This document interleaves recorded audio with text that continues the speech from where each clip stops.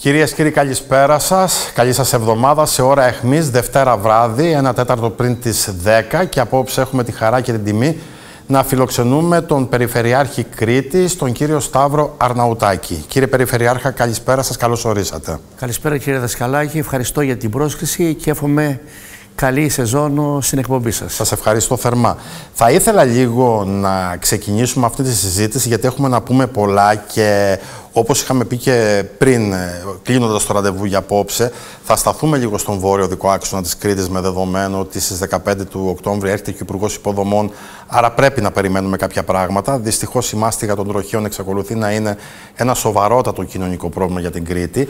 Όμως θα ήταν δημοσιογραφικό μου ατόπιμα αν δεν σας ζητούσα απόψε να μου σχολιάσετε λίγο την επόμενη μέρα του πρώτου γύρου των εκλογών στο Πασόκ. Γνωρίζω ότι παρακολουθήσατε τις εξελίξεις στενά. Την πολιτική σας ταυτότητα όλα αυτά τα χρόνια δεν την κρύψατε ποτέ από τους κριτικούς, παρά το γεγονός ότι είστε ένας περιφερειάρχης κοινής αποδοχής. Έχετε μία δυναμική σε όλα τα πολιτικά κόμματα και αυτό κανείς δεν το αφισβητεί.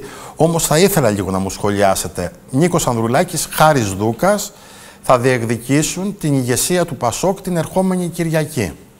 Ε, αυτό που πρέπει να πούμε κύριε Δασκαλάκη ότι κάθε εκλογή ε, προέδρου σε κάθε κόμμα είναι μια κορυφαία διαδικασία που αναδεικνύει και μέσα από αυτήν τη διαδικασία ε, την δημοκρατία που πρέπει να υπηρετούμε όλοι.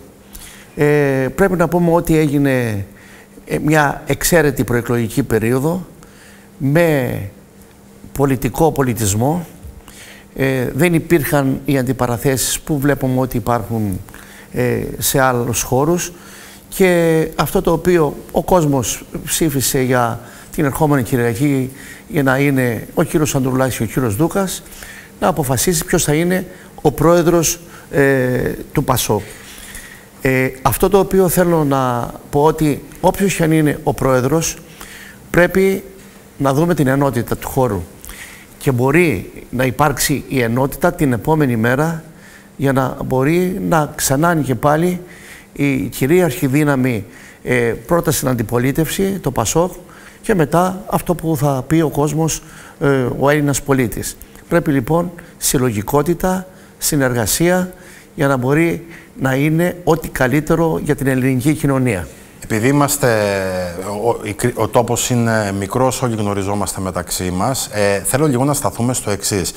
Είστε ο Περιφερειάρχης της Κρήτης, ουσιαστικά ο άνθρωπος που προωθεί τις διεκδικήσεις των κριτικών και από τις τέσσερις περιφερειακές ενότητες προς την Αθήνα, που πολύ συχνά δεν ακούει όπως θα θέλαμε. Δηλαδή, δεν λαμβάνει με τη σοβαρότητα που θα έπρεπε θέματα που μπορεί να απασχολούν την καθημερινότητα ανθρώπων της ελληνικής περιφέρειας και δεν αναφέρομαι μόνο στην Κρήτη. Για τον Περιφερειάρχη Κρήτης, η επόμενη μέρα στο Πασόκ δίνει μια μεγαλύτερη διαδραστικότητα αν ο πρόεδρος του κόμματος είναι κριτικός, εξακολουθήσει να είναι κριτικός. Γιατί στο Πασόκ λένε ότι δεν εκλέγουμε, λέει, μόνο τον αυριανό πρόεδρο, εκλέγουμε και τον αυριανό πρωθυπουργό.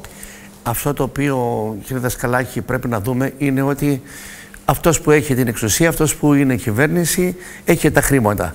Αλλά και η αντιπολίτευση πρέπει να διεκδικεί πάνω σε ένα πρόγραμμα που θα αναδεικνύει τι είναι οι προτάσεις αυτές που θα δει ο κόσμος για να ψηφίσει και να είναι ε, στις επόμενες εκλογές η κυρίαρχη δύναμη. Αυτό το οποίο χρειάζεται είναι να μπορούμε με προτάσεις, με οραματισμό, με διεκδίκηση για να μπορούμε να υλοποιούμε. Και εδώ χρειαζόμαστε όλους, γιατί δεν είναι η αυτοδιοίκηση ενός κόμματος. Και ο πρώτος βαθμός και ο δεύτερος βαθμός είναι όλων των ανθρώπων, ανεξάρτητα που ανήκουν. Μπορεί σε κάθε εκλογές και να έχει ο καθένας και να λέει: Εγώ είμαι, ανήκω σε αυτό το χώρο. Όμως την επόμενη μέρα, και αυτό το έχω αποδείξει σε όλη μου τη διαδρομή, Είμαστε ερετή περιφέρεια για όλους τους πολίτες της Κρήτης. Αυτό κανείς δεν το Διεκδικούμε αυτό το οποίο χρειάζεται. Γιατί εδώ πρέπει να πω, χρειάζεται η πραγματική αποκέντρωση αρμοδιοτήτων και πόρων. Δεν είναι δυνατόν ένα βράδυ να παίρνετε απόφαση, δίνουμε αρμοδιότητα για οποιοδήποτε θέμα, χωρίς ένα ευρώ. Αυτό δεν μπορεί να συνεχιστεί. Και μάλιστα πρέπει να σας πω ότι έχουμε συζητήσει όλοι οι περιφερειάρχες Εκτιμώ ότι μέσα στον επόμενο μήνα θα έχουμε και νέα ε, αρχή στην Ένωση Περιφερειών για να μπορούμε να έχουμε αυτές τις προτάσεις που ε, ως οικονομικές προτάσεις προς το συναρμόδια Υπουργεία να έχουμε ένα αποτέλεσμα καλύτερο. Αυτή τη στιγμή δεν υπάρχουν οι πόροι που έπρεπε να υπάρχουν για την καθημερινότητα. Γιατί ακόμη τα εκατομμύρια, ακόμη τα δισεκατομμύρια τα οποία αφορούν διάφορα μεγάλα έργα τα οποία έχουν προχωρήσει και θα αναφερθούμε. Μου ε, κάνατε στη... όμως τηλεοπτικό ελιγμό. Δεν μου απαντήσατε στο ερώτημα που σας έθεσα. Για τον Περιφερειάρχη Κρήτης, ένας κριτικός αρχηγός έχει μια μεγαλύτερη διαδραστικότητα στην προώθηση των αποφάσεών του; Οπωσδήποτε. Έχει, κύριε Δασκαλάκη, ε, γιατί πρέπει να σας πω ότι ε, και ο κύριος Μητσοτάκης προσπαθεί για κάποια θέματα, ειδικά για τον Βόρειο Δικό Άξονα, έχει τα μεγάλα θέματα. Το γνωρίζω και το έχω δηλώσει και δημόσια ότι ευτυχώς που κυνηγά για τον Βόρειο Δικό Άξονα για να μπορούν να ολοκληρωθούν οι διαδικασίες. Αλλιώς θα περιμένουμε άλλα πέντε χρόνια για να μπορεί να προχωρήσει. Το ίδιο λέω και για τον αρχηγό της αξιωματικής αντιπολίτευσης. Θέλω να σταθούμε σε κάτι που έχει πολύ μεγάλη σημασία. Ε, 300.000 άνθρωποι πήγαν και ψήφισαν για τον νέο πρόεδρο του ΠΑΣΟΚ, για τους έξι υποψηφίους που διεκδικούσαν τον ε, ηγετικό θόκο του ΠΑΣΟΚ. Ε, είναι μεγάλη η διαδρομή για να επανέλθει στο το ΠΑΣΟΚ και να χαρακτηριστεί ένα κόμμα εξουσίας, γιατί φαίνεται ότι το ΠΑΣΟΚ είναι το κόμμα που δέχτηκε και την μεγαλύτερη φθορά από τις μνημονιακές πολιτικές. Ήταν ένα κόμμα που βρισκόταν στο 40% και δεν πρέπει να ξεχνάμε ότι έπεσε και κάτω από το 10%. Πήγε στο 4,5%. 5%, στο 4,5% ακριβώς. Ότι έχει πάει σε πολύ χαμηλά ποσοστά. Πλήρωσε ε, τα μνημόνια, αλλά παρέλαβε το 2009 μια χρεοκοπημένη χώρα, γιατί το Δεκέμβριο του 2009 δεν υπήρχαν να πληρωθούν πάρα πολλά οικονομικά θέματα ε, και το θυμάμαι πάρα πολύ καλά τότε που ο Πρωθυπουργός ο Γιώργος Παπαντρέου ε, σε μια συνάντηση που είχαμε ότι δεν υπάρχουν χρήματα ούτε για υγεία, ούτε για παιδεία, ούτε για συντάξεις, άρα έπρεπε να προχωρήσουν σε κάποιες κινήσεις. Πήγαμε στα μνημόνια, πλήρωσε την προηγούμενη περίοδο 2004-2009 αυτά που είχαν γίνει από την προηγούμενη κυβέρνηση και τώρα έχει ξαναβρει και ξαναρχίζει και χτίζεται. Είναι ένα θέμα το οποίο αν υπάρξει συλλογικότητα, αν υπάρχουν οι προτάσεις, πρέπει να δούμε το μέλλον κύριε Δασκαλάκη. Δεν πρέπει, καλό είναι και το παρελθόν, γιατί χωρίς παρελθόν δεν υπάρχει παρόν, αλλά δεν υπάρχει και μέλλον. Άρα προτάσεις, συλλογικότητα, σε όλη την Ελλάδα να μπορούν να υπάρξουν οι οργανώσεις, ε, τα συνδικάτα, η αυτοδιοίκηση. Είδαμε ότι υπάρχουν σημαντικά βήματα προόδου και από εκεί πέρα εξαρτάται από τον νέο αρχηγό πώς θα οδηγήσει το κόμμα στις επόμενες εκλογές. Θέλω να σταθούμε έτσι με ένα-δύο ερωτήσεις ακόμη για να πάμε και στο λόγο για τον οποίο είστε εδώ πέρα. Θα συζητήσουμε πολλά θέματα, αλλά θα ε, εστιάσουμε κυρίως στον βόρειο δικό άξονα της Κρήτης. Ε, κυρία Αρναουτάκη, αυτή τη στιγμή είναι σε εξέλιξη μια εσωτερική διεργασία στο Πασόκ με φόντο τον επόμενο γύρο. Ποια είναι τα μηνύματα που λαμβάνετε από την Κρήτη; Δηλαδή, okay, στην Κρήτη υπάρχει μια σαρωτική επικράτηση του Νίκου Ανδρουλάκη. Φαίνεται ότι δεν υπήρξε αντίπαλος για τον Νίκο Ανδρουλάκη στο νησί. Αυτό είναι και ένα μήνυμα προς την κεντρική πολιτική σκηνή ότι η Κρήτη ε, στέλνει ένα ουσιαστικό μήνυμα όσον αφορά την επόμενη μέρα στο Πασόκ. Πάντα τα ποσοστά του Πασόκ στην Κρήτη ήταν υψηλά. Και λόγω της καταγωγής, γιατί πρέπει να πούμε ότι υπήρξαν έξι στελέχη του Πασόκ, άξιοι, ε, δύο κυρίες με τη διαδρομή, ειδικά η κυρία Διαμαντοπούλου, μια διαδρομή και ευρωπαϊκή και ελληνική στις κυβερνήσεις. Ε, συνεχίζει και προσφέρει στη σοσιαλδημοκρατία. Ε, όμως ο κόσμος επέλεξε ε, το δίδυμο το οποίο θα είναι την επόμενη ε, Κυριακή. Εδώ χρειάζεται η συλλογικότητα και η συνεννόηση μεταξύ όλων αυτών που έβαλαν την υποψηφιότητά τους για να προχωρήσουν ως πρόεδροι και επέλεξε ο κόσμος. Από τη στιγμή που έχουμε την επιλογή τώρα του κυρίου Αντρουλάκη και του κυρίου Δούκα, ότι πρέπει να επιλεγεί ένας εκ των δύο. Ακριβώς την Κυριακή. Αλλά την επόμενη μέρα πρέπει να είναι ενωμένη. Ένα τελευταίο ερώτημα. Γιατί, όπως είπε και ο κύριος Σιμίτης, είναι η τελευταία ευκαιρία που έχει το Πασό. Ένα τελευταίο ερώτημα θα σας θέσω. Είστε ένας άνθρωπος που στις πλάτες του έχει πάρα πολλές εκλογικές αναμετρήσεις και όχι μόνο αυτοδιοικητικές εκλογικές αναμετρήσεις. Έχετε, ξεκινήσατε από δήμαρχος, φτάσατε ευρωβουλευτής, υπουργός, βουλευτής και ούτω καθεξής. Άρα, αν υπάρχουν κάποιοι που γνωρίζουν πολύ καλά από εκλογές σε αυτόν τον τόπο, είστε ένας από αυτούς. Ε, υπάρχει εξήγηση για τα ποσοστά που κατέλαβες στο λεκανοπέδιο της Αττικής τόσο ο Νίκος Ανδρουλάκης όσο και ο Χάρης Δούκας, ο οποίος είναι και ο δήμαρχος των Αθηναίων.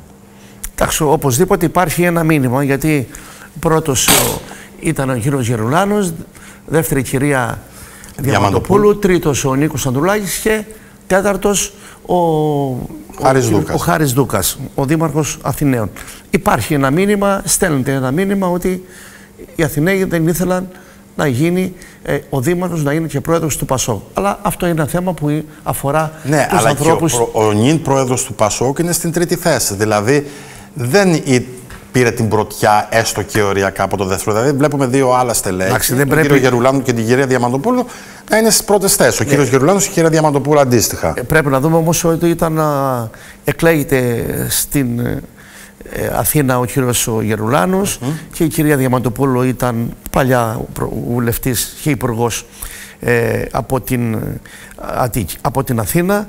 Ε, στελέχη που έχουν μια διαδρομή πάρα πολύ σημαντική, έχουν χτίσει αυτές τις συνεργασίες όλα αυτά τα χρόνια και ο κόσμος επέλεξε να είναι ε, ο πρώτος και ο δεύτερος. Λοιπόν, θα κλείσουμε το κομμάτι του Πασό. Κυριακή κοντή γιορτή, λέει ο λαός. Άρα θα δούμε ακριβώς. τι ακριβώς θα συμβεί την ερχόμενη ακριβώς. Κυριακή. Ε, θα σας ξεκινήσω έτσι λίγο πιο χαλαρά, κύριε Αρναουτάκη.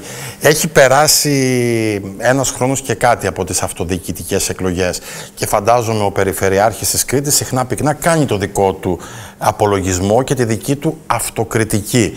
Υπάρχει κάτι από αυτά που σκεφτήκατε πριν από καιρό που αναλάβατε για πολλωστή φορά την θητεία και τα ενία της Περιφέρειας Κρήτης που λέτε ότι δεν έχει πάει καλά. Πρέπει να πούμε ότι όλα εξαρτώνται από τις χρηματοδοτήσεις οι οποίες υπάρχουν. Πέρυσι τέτοια εποχή, ας πούμε, μιλούσαμε προεκλογικά στην ίδια εκπομπή, κύριε Ακρι... Ναουτάκη. Ακριβώς. Είναι ένας χρόνος... Ακριβώς, ένας χρόνος ε, μετά. Ένας χρόνος μετά που ξεκινήσαμε τη νέα Περιφερειακή Αρχή από 1η του Ιανουαρίου του 2024.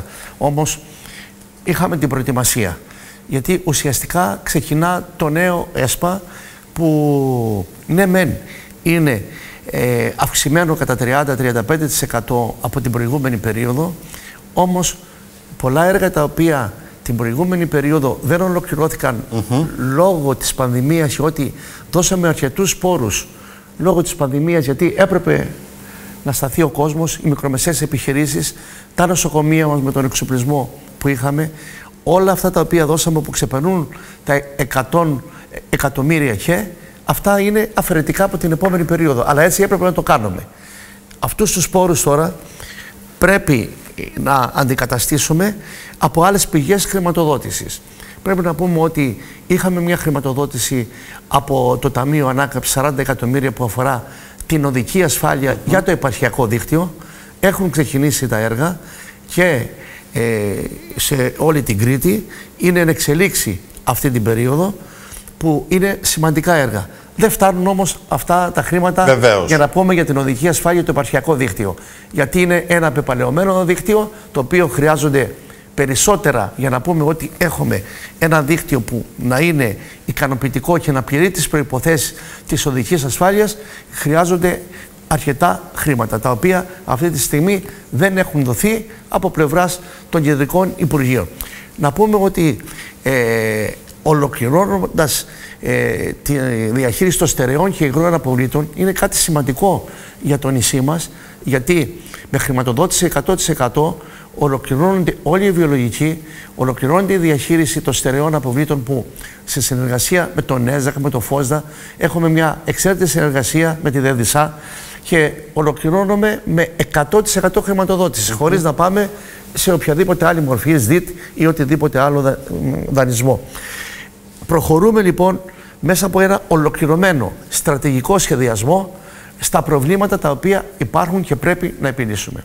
Κλείνοντας λοιπόν τα δύο κορυφαία θέματα που είναι ε, η διαχείριση των στερεών και υγρών αποβλήτων, πρέπει να δούμε τι, τα θέματα της οδικής ασφάλειας που είναι πάρα πολύ σημαντικά. Και πριν και μπούμε στα θέματα οδικής ασφάλειας. Πρέπει να το συζητήσουμε mm ιδιαίτερω για να δείτε. Με αυτό θα ξεκινήσουμε. Ακριβώς.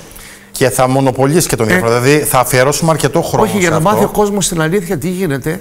Γιατί πολλές φορές λένε, ειδικά για το βόρειο οδικό άξονα, ότι έχει την ευθύνη η περιφέρεια, αλλά ένα βράδυ πήραν μια απόφαση στην Αθήνα και λένε όποια έργα χρηματοδοτηθούν από το Υπουργείο ή από άλλες πηγές χρηματοδότης θα τα δημοπρατεί το αρμόδιο Υπουργείο Υποδομών, και θα τα επιβλέπει ο Οργανισμός Ανάπτυξης Κρήτης. Επειδή σε αυτήν την εκπομπή τώρα και 8 χρόνια, κύριε Ρναουτάκη, οποιαδήποτε θεματική ενότητα αναπτύσσουμε, δεν την αναπτύσσουμε για να το κάνουμε, το μελετάμε και κάνουμε δημοσιογραφική έρευνα. Θα προσπαθήσω να σας βοηθήσω στην απόψινή συζήτηση και γιατί όχι να σας καταθέσουμε και κάποιες προτάσεις ή στο Περιφερειάρχης Κρήτης που θα μπορούσε να τις θέσει αυτές τις προτάσεις ε, στον ε, Υπουργό Υπόδομων. Γνωρίζετε πάρα πολύ καλά το θέμα της οδικής ασφάλειας και αυτό δεν σηκώνει καμία απολύτως αφισβήτηση. Όμως, πολλές φορές το καθημερινό ρεπορτάζ αποτυπώνει και τον παλμό το πώς κινείται η Κρήτη και πού υπάρχει πρόβλημα. Θα ήθελα λοιπόν να δούμε κάτι και να το σχολιάσουμε παρέα. Η Αλεξάνδρα Ιμπαντινάκη, συνάδελφος από το Ηράκλειο, και η Βίκη Παπαδογιαννάκη, συνάδελφος από τα Χανιά, βρέθηκαν στους κεντρικούς δρόμους των δύο μεγαλύτερων κριτικών πόλεων και ζητήσαν από Ηρακλειώτες και Χανιώτες στη σκιά των τροχαίων να σχολιάσουν την οδική ασφάλεια αλλά και το οδικό δίκτυο της Κρήτης. Πάμε να δούμε τι ακριβώς μας δήλωσαν, γιατί ο λόγος πάντοτε σε αυτήν την εκπομπή ανήκει στους πολίτες. Ο οδηγός φταίει στην κρίση του να ξεπερνάει τα 70 χιλιόμετρα στους ελληνικούς δρόμους. Οι αρμόδιες αρχές μπορούν να κάνουν κάτι. Αυτό που ξέρουν είναι ότι οι οδηγοί θα πρέπει να προσέχουν περισσότερο. Οι δρόμοι δεν είναι το σπίτι μας, είναι δρόμοι και αν εσείς θέλετε να τρέχετε, εγώ δεν τρέχω προσωπικά, α, είσαστε υπεύθυνοι για τον εαυτό σας, αλλά δυστυχώς δεν βλέπω να συμβαίνει εδώ, νομίζουν ότι είναι το σπίτι τους οι δρόμοι. Οδηγώ και πάω στα Χανιά και κάνω το σταυρό μου να φτάσω και να κάνω το σταυρό μου για να ξαναγυρίσω. Ο κόσμος πρέπει να κάνει και μετά θα φτιαχτεί να κάνει ένα δρόμος. Πιστεύετε ότι είναι θέμα οδηγικής παιδείας, δηλαδή; Βέβαια. Οι αρμόδιες αρχές πρέπει να κάνουν, ακόμα δεν ξέρουν οι αρμόδιες αρχές. Θα δούμε, δεν ξέρω. Μακάρι να βοηθήσουν, πρέπει να λυθεί κάπως το θέμα πια. Ε, θα βοηθήσουν και χρειάζονται και μήπως χρειάζονται και στην παλιά εθνική, όχι μόνο στη, στο βορειοδικό άξονα. Έχει να γίνει πάντως η οριστική αποκατάσταση και ανακατασκευή του βόρειου ειδικού άξονα Κρήτη. Εκτιμάται ότι αυτές οι παρεμβάσεις, έστω και σε μικρό βαθμό, θα βοηθήσουν στο, στην αναβάθμιση του επίπεδου ασφάλειας. Θα βοηθήσουν, αλλά ξεκινάνε από την παιδεία και από εμάς τους ίδιους. Βέβαια, βέβαια. Αυτά πρέπει να γίνονται πάρα πολύ συχνά. Ειδικά ο φωτισμός είναι ανεπαρκής. Ε, δηλαδή και μέχρι τον Ταυρονίτη και πιο μετά μέχρι το Μάλεμε δεν υπάρχουν καθόλου φώτα. Ε, και η διαγράμμιση πρέπει πάντα να είναι ορατή στον οδηγό που οδηγάει. Αυτά είναι απαραίτητα. Δηλαδή, άμα έχουμε φτάσει στο σημείο να συζητάμε τώρα για αυτά τα πράγματα, ε, είμαστε πάρα πολύ πίσω. Πρέπει οπωσδήποτε πρέπει να δοθεί μια λύση για το θέμα αυτό, διότι γίνονται ατυχήματα συνεχώς και θα πρέπει να, οι αρμόδιοι να κάνουν αυτά που πρέπει να κάνουν και γνωρίζουν ότι πρέπει να κάνουν, αλλά βλέπω ότι καθυστερεί το θέμα αυτό. Ακούστε να σας πω κάτι, το θέμα του οδικού όξενο είναι εδώ και 100 χρόνια. Κάποιοι δεν θέλανε, οι Γερμανοί δεν θέλανε να, τα, να γίνει ο... Μπορούσαν να κάνουν σιδηρόδρομο. Δεν τον κάνανε γιατί δεν τον κάνανε. Λοιπόν, ακούσαμε τι είπαν οι Ηρακλειώτες και Χανιώτες. Νομίζω ότι δεν διαφοροποιούνται οι απόψεις στους πολίτες του Λασιθίου και του Ρεθύμνου όσον αφορά την οδική ασφάλεια. Όμως υπάρχει μια ε, έλλειψη ισορροπίας στο οδικό δίκτυο της Κρήτης όσον αφορά τις υποδομές. Και θα ήθελα να σας ρωτήσω τι περιμένετε, κύριε Αρναουτάκη, από τις 15, στις 15 Οκτωβρίου που θα κατέβει ο κύριος Σταϊκούρας εδώ; Ή θα σας το πω πολύ πιο απλά. Ποια είναι η πρόταση που θα καταθέσει η Περιφέρεια Κρήτης; Τις προτάσεις έχουμε καταθέσει ε, σε όλους τους υπουργούς ε, που έχουν περάσει από το Υπουργείο Υποδομών. Εδώ πρέπει να πούμε ότι έχει δημοπρατηθεί ο βόρειος οδικός άξονας ε, Χανιά Ηράκλειο με σύμβαση παραχώρησης και με προαίρεση μέχρι τη Γίσαμο. Ε, υπάρχει ανάδοχος. Πιστεύουμε ότι θα ακούσαμε από τον Υπουργό πότε θα είναι η υπογραφή με την ανάδοχο εταιρεία. Ε, ανατολικά έχει γίνει ένα τμήμα με ΖΙΤ και άλλο ένα τμήμα δημόσιο μέχρι τον Άγιο Νικόλαο. Mm -hmm. Όμως για μας βόρειος οδικός άξονας κύριε Δασκαλάκη νοείται από την Γίσαμο μέχρι τη Σιτία διότι δεν έχουν πάρει τους συμβούλους από την Παχιά μου μέχρι τη Σιτία για να ολοκληρωθούν οι μελέτες και να μπορούν να προχωρήσουν όταν βρούμε τη χρηματοδότηση και πρέπει να ξεκινήσει αυτό το μεγάλο έργο μέσα στο 25 από τα Χανιά προς το Ηράκλειο. Είναι ένα σύνδετο το μεγάλο έργο. κομμάτι. Είναι ένα δύσκολο έργο. Έχει πολλά προβλήματα. Θέλει επιπλέον χρήματα και επίσης αυτό το οποίο εμείς έχουμε καταθέσει πάντα και με την προηγούμενη Δημοτική Αρχή Ηρακλείου τα θέματα του Ηρακλείου, ο, του Μαλεβιζίου και του Αποκόρονα. Τις ενστάσεις που έχουν κάποιες που έχουν περιοχές. κατατεθεί. Εμείς με ομόφωνη απόφαση του Περιφερειακού Συμβουλίου έχουμε ε, προτείνει προς το αρμόδιο Υπουργείο να συμπεριλάβει σε επιμέρους μελέτες όλα αυτά τα θέματα. Έχουμε συζητήσει με τον κύριο Σταϊκούρα. Πρέπει να σας πω ότι και σήμερα συζητούσαμε για το πρόγραμμα πόσα είναι, γιατί δεν είναι μόνο ο βόρειος οδικός άξονας, είναι το αεροδρόμιο στο Καστέλι, είναι η σύνδεση με το βόρειο οδικό άξονα, είναι το τούνελ που πάλι με ομόφωνη απόφαση έχουμε πάρει, είναι το αεροδρόμιο Ηρακλείου, που εδώ πάλι έχουμε μια ταύτιση με το Δήμο Ηρακλείου. Όσον αφορά την παραχώρηση, την στιγμή, εκμετάλλευση. από τη στιγμή που είναι ε, ιδιοκτήτης σε ένα ποσοστό, δεν μπορεί να μην λαμβάνεται υπόψη. Έχει ζητήσει το ΤΑΙΠΕΔ τις προτάσεις και του Δήμου και της Περιφέρειας. Έχουμε συζητήσει ε, με τον ο, αρμόδιο διευθύνων σύμβουλο του ΤΑΙΠΕΔ και όλα αυτά τα θέματα τα οποία είναι παράλληλα με τα μεγάλα εγκυοβελτικά έργα. Τα έργα τα οποία έχουν ξεκινήσει από τον Άι Γιώργη στο Σελινάρι και γίνεται το τούνελ. Να ξεκινήσει και από την άλλη πλευρά, από την άλλη εταιρεία.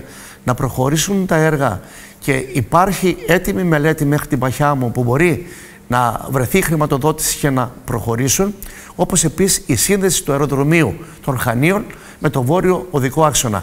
Αυτά είναι όλα. Αλλά Είναι πολύ πρέπει, σημαντικά αυτά που λέτε. Είναι πάρα πολύ σημαντικά. Αλλά μέχρι να φτάσουμε. Πρέπει να γίνουν παρεμβάσεις Πρέπει στον να γίνουν οι υπάρχον παρεμβάσεις. δρόμο. Και εδώ, εδώ πρέπει να πούμε ότι από το 2016-2017 υπήρχαν και υπάρχουν εγκεκριμένοι πόροι που τους έχει το αρμόδιο Υπουργείο 25 εκατομμύρια το ο, βόρειο οδικό άξονα για συντήρηση οδική ασφάλεια.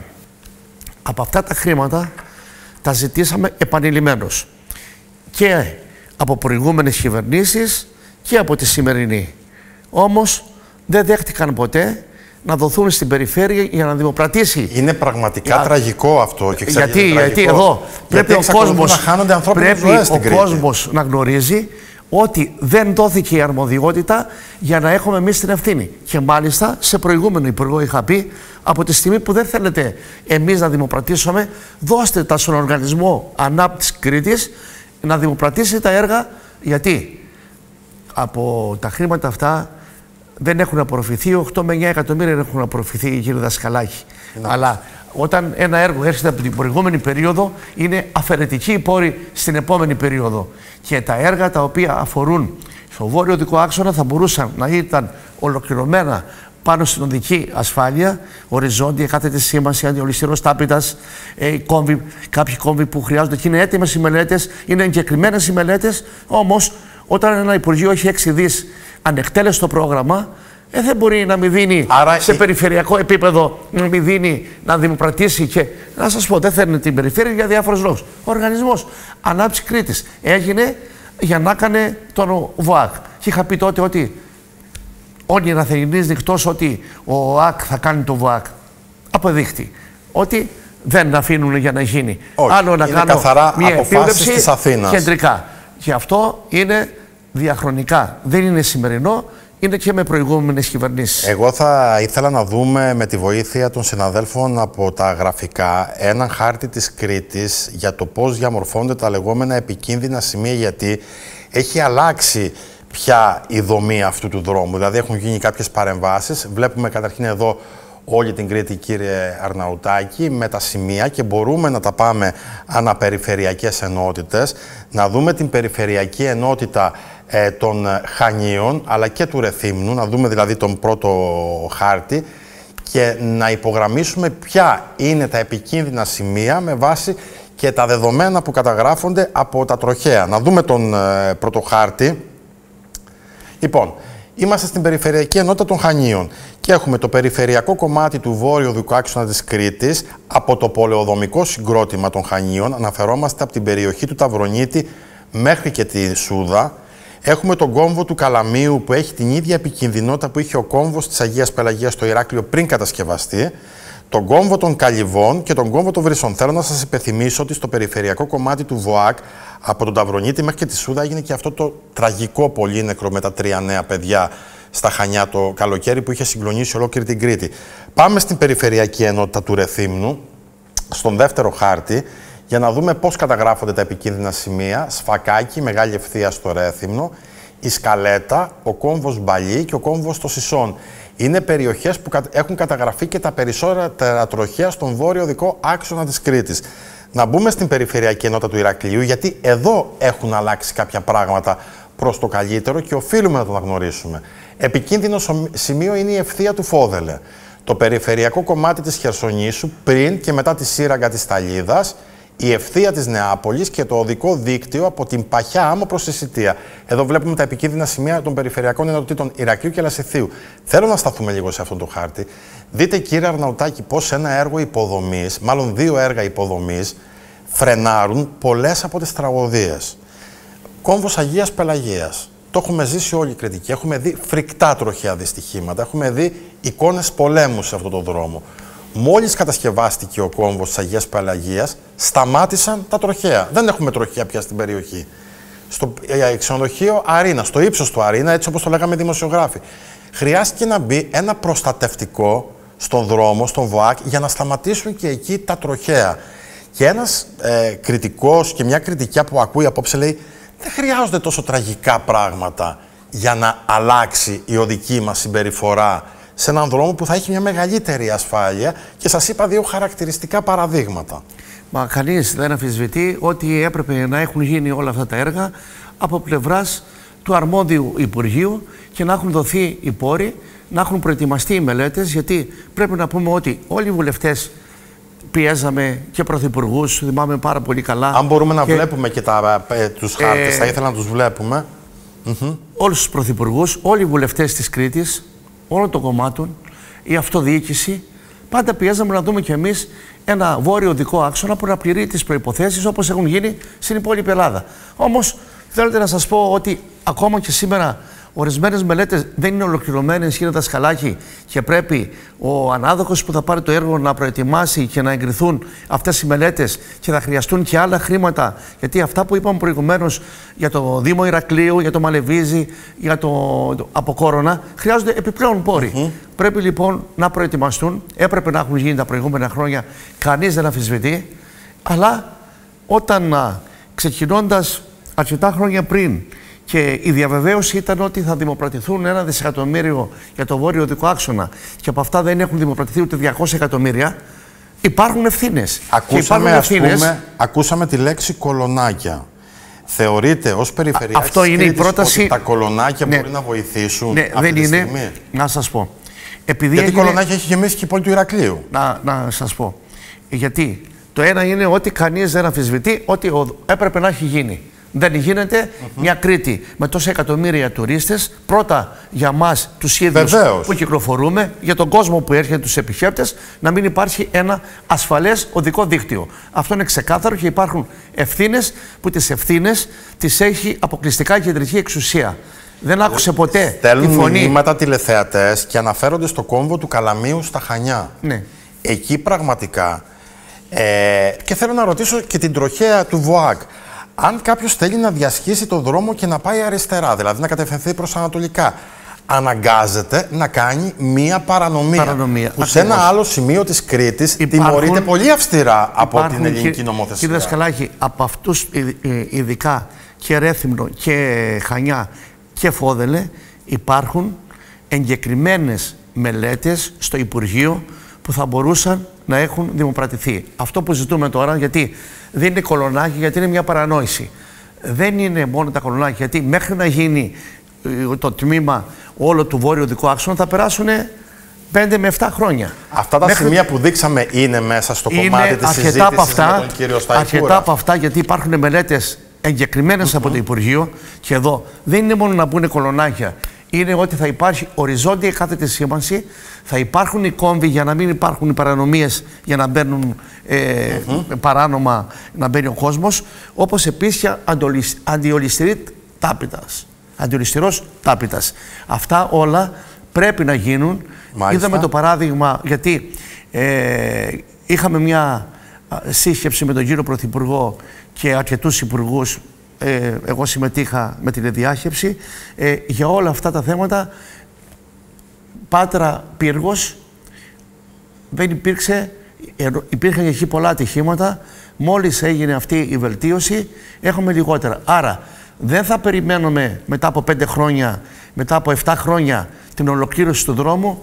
Τώρα θα ξεκινήσει το έργο, το νέο χρόνο, ούτως ώστε τα περισσότερα τμήματα να μπορούν να είναι ολοκληρωμένα, μπορεί να μην είναι όλα, αλλά τα πιο επικίνδυνα να μπορούν να είναι ολοκληρωμένα μέχρι να ξεκινήσει και να γίνεται ο βόρειος οδικός άξονας. Επειδή Άρα έχω είναι ερωτήματα- παρανόηση, είναι παρανόηση όταν λέμε κολονάκια. Και η θέση δική μου ξεκαθαρίσατε και είναι, ορθώς. είναι ξεκάθαρη η θέση δική μου ότι όλα αυτά, γιατί έχω δει τις μελέτες, είναι μελέτες οι οποίες πληρούν τις προϋποθέσεις για να έχουμε ένα ασφαλές δίκτυο, ναι, να γίνουν. Θα ήθελα να δούμε ξανά το χάρτη γιατί έχω κάποια ερωτήματα από τηλεθεατές που τα, θα, θα τα θέσω άμεσα. Ε, θα τα θέσω τώρα στον κύριο Αρναουτάκη. Πέρα από τον κόμβο Καλαμίου, ε, ένας τηλεθεατής ρωτάει για την περιφερειακή ενότητα του Ρεθύμνου, για τον κόμβο του Μπαλί και τον κόμβο των Σισών. Σε πάρα πολλά σημεία, λέει, του δρόμου και ειδικά το χειμώνα, τα περισσότερα φώτα σε αυτούς τους κόμβους έχουν καεί. Δεν, δεν ανάβουν. Ναι, υπάρχει, να σας πω. Και επίσης, θα το συμπληρώσω ερώτημα από τηλεθεατή από το Ηράκλειο. Το περιφερειακό κομμάτι λέει, του βόρειου δικού άξονα της Κρήτης από το Ηράκλειο ουσιαστικά είναι ο περιφερειακός δρόμος μιας μεγαλούπολης που λέγεται Ηράκλειο.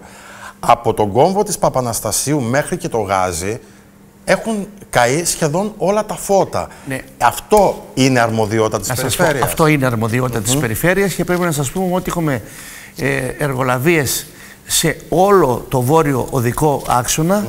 ε, πολλές φορές όμως έχουμε και διάφορα θέματα που, ε, ε, με το φωτισμό διότι έχουμε απώλειες ε, που από Φορές. διάφορες φορές Από οδηγούς. ε, όχι οδηγούς και από άλλους ου, συνανθρώπους μας, ε, με τα καλώδια, με οτιδήποτε. Κατάλαβα τι θέλετε να υπάρχει εργολαβία η οποία είναι συνεχής και προσπαθούμε ε, να έχουμε το καλύτερο αποτέλεσμα. Ρωτάει Έχουν δίκιο, τηλεθεατής έχουν από το δίκιο. Λασίθι, ο Ναι. Περιφερειάρχης Κρήτης λέει τον δρόμο από την Παχιά Άμμο μέχρι και την Σιτία τον χαρακτηρίζει βόρειο δικό άξονα του νησιού. Εντάξει, εμείς ε, αυτό το οποίο έχουμε πει ότι θα πάει ο βόρειος οδικός άξονας μέχρι τη Σιτία. Θέλουμε και έχουμε ζητήσει από τον κύριο Υπουργό. Λένε για τον και- υπάρχον Και, επειδή δρόμο. για τον υπάρχον. ε, Όχι. Δηλαδή Όπως θυμάστε είναι ο- πόσο καιρό όπως το είναι- Χαμέζι όπως είχε είναι- γίνει ένα γεφύρι της Άρτας. Ναι, είχε βγει. Γιατί όμω, γιατί ο ανάδοχος είχε πάει πλαστές επιταγές και δεν μπορούσε να προχωρήσει το έργο. Αυτό ήταν το πρόβλημα τότε. Ναι. Γιατί είχε ξεκινήσει από το 11 και ήταν ο ανάδοχος πλαστές, μετά ανακαλύφθηκε, σταμάτησε, ξαναδώσανε προσφορές. Έγινε όμως. Αυτή τη στιγμή αυτό που χρειάζεται είναι να μας ακούσουν, ε, να ολοκληρωθούν οι μελέτες γιατί οι μελέτες δεν θα είναι ο υπάρχον δρόμος, θα είναι ένα εντελώς διαφορετικός να πάει μέχρι τη αιτία, να ολοκληρωθούν και όποτε βρεθούν οι πόροι να διεκδικούμε τους πόρους και ο Δήμαρχος διεκδικεί ο Γιώργος Ζερβάκης ε, και η Ιεράπετρα να μπορούμε να έχουμε και προς το Λασίθι ένα ολοκληρωμένο οδικό δίκτυο. Διαφωνούν οι τηλεθεατές και θα σας το διαβάσω ακριβώς όπως λέει ε, τι σχέση λέει, μπορεί να έχει το κομμάτι Πάτρα Πύργος με το φόρτο της Κρήτης. Κακώς λέει τον συγκρίνεται. Όχι, δεν το συγκρίνω Ε, εγώ. γιατί να μιλάμε απαντήσω. για έναν δρόμο που Για- έχει την να- διπλάσια κίνηση. Να στην απαντήσω. Έχουν ε, δίκιο οι τηλεθεατές, αλλά να πω. Αυτό τέθηκε στην συζήτηση με τον κύριο Πρωθυπουργό ότι και εκεί υπήρχαν πολλά ατυχήματα και όταν έγιναν αυτές οι παρεμβάσεις μειώθηκαν στα ένα με δύο. Με αυτή τη λογική. Δεν είναι ότι έχει τη διπλή κίνηση στην Κατανοητό. τρίτη. Είναι η λογική και το οποίο το έχει θέσει ο ίδιος ο Πρωθυπουργός. Ε, θα, θα σας, επειδή βλέπω ότι υπάρχει πολύ μεγάλη ροή, ε, ένα ερώτημα για να κλείσουμε το κομμάτι του ΒΟΑΚ, γιατί θα πάμε και στο επαρχικό οδικό δίκτυο. Περιφερειακό κομμάτι της Χερσονήσου, το βλέπουμε εδώ πέρα στον χάρτη, Ρωτάνε οι τηλεθεατές πόσο δύσκολο είναι, λέει, να μπει ένα προστατευτικό και στο κομμάτι που δεν υπάρχει μετά τον κόμβο της Χερσονήσου μέχρι και τη σύραγγα, του Βραχασ... μέχρι τη σύραγγα ε, της Ταλίδας. Εκεί γίνονται σοβαρά τροχαία ατυχήματα, κύριε Προστατευτικό Αμπατάκη. εννοούν. Προστατευτικό στη μέση. Στη μέση. Διαχωριστικό. Το διαχωριστικό. Συγγνώμη, δικό μου λάθος. Ακριβώς. Γιατί. ε, όχι, όχι. Ε, εδώ πρέπει να δούμε αν πληρούν τις προποθέσει για την ασφάλεια για να μπορεί να γίνει. Αυτό βγαίνει μέσα από μελέτη ε, και θα το δουν οι αρμόδιοι από το Υπουργείο, οι μηχανικοί που έρχονται, αν μπορούν να γίνει Μάλιστα. άμεσα. Λοιπόν, ε, άλλος τηλεθεατής μας καλεί τώρα με ειδοποιούν πάνω από τα Χανιά. Ε, πρέπει λέει να γίνει άμεσα καθαρισμός από τα χόρτα στον βόρειο Ναι. άξονα τη Κρήτη που πολλές φορές κρύβουν και τη σήμανση. Και γνωρίζω ότι στη, στη ζήτηση που θα κάνετε με, και στην πρόταση που θα καταθέσετε στον κύριο Σταϊκούρα είναι και η νέα σήμανση αλλά και ο καθαρισμός του ΒΟΑΚ. Ε, έχουν δίκιο και να σας πω ότι ένα χρόνο διεκδικούμε χρηματοδοτήσεις για να γίνουν οι καθαρισμοί και για ένα χρόνο δεν έχουμε πάρει ούτε ένα ευρώ για να γίνουν αυτοί οι καθαρισμοί, Μμμ. κύριε Δασκαλάκη. Είχαμε μια συνάντηση ε, 10 του μήνα το απόγευμα με τον κύριο Πρωθυπουργό. Αναβλήθηκε όμως για επόμενο χρονικό διάστημα και το μόνο θέμα που ζητήσαμε όλοι οι περιφερειάρχες για να συζητήσουμε με τον κύριο Πρωθυπουργό είναι οι χρηματοδοτήσεις.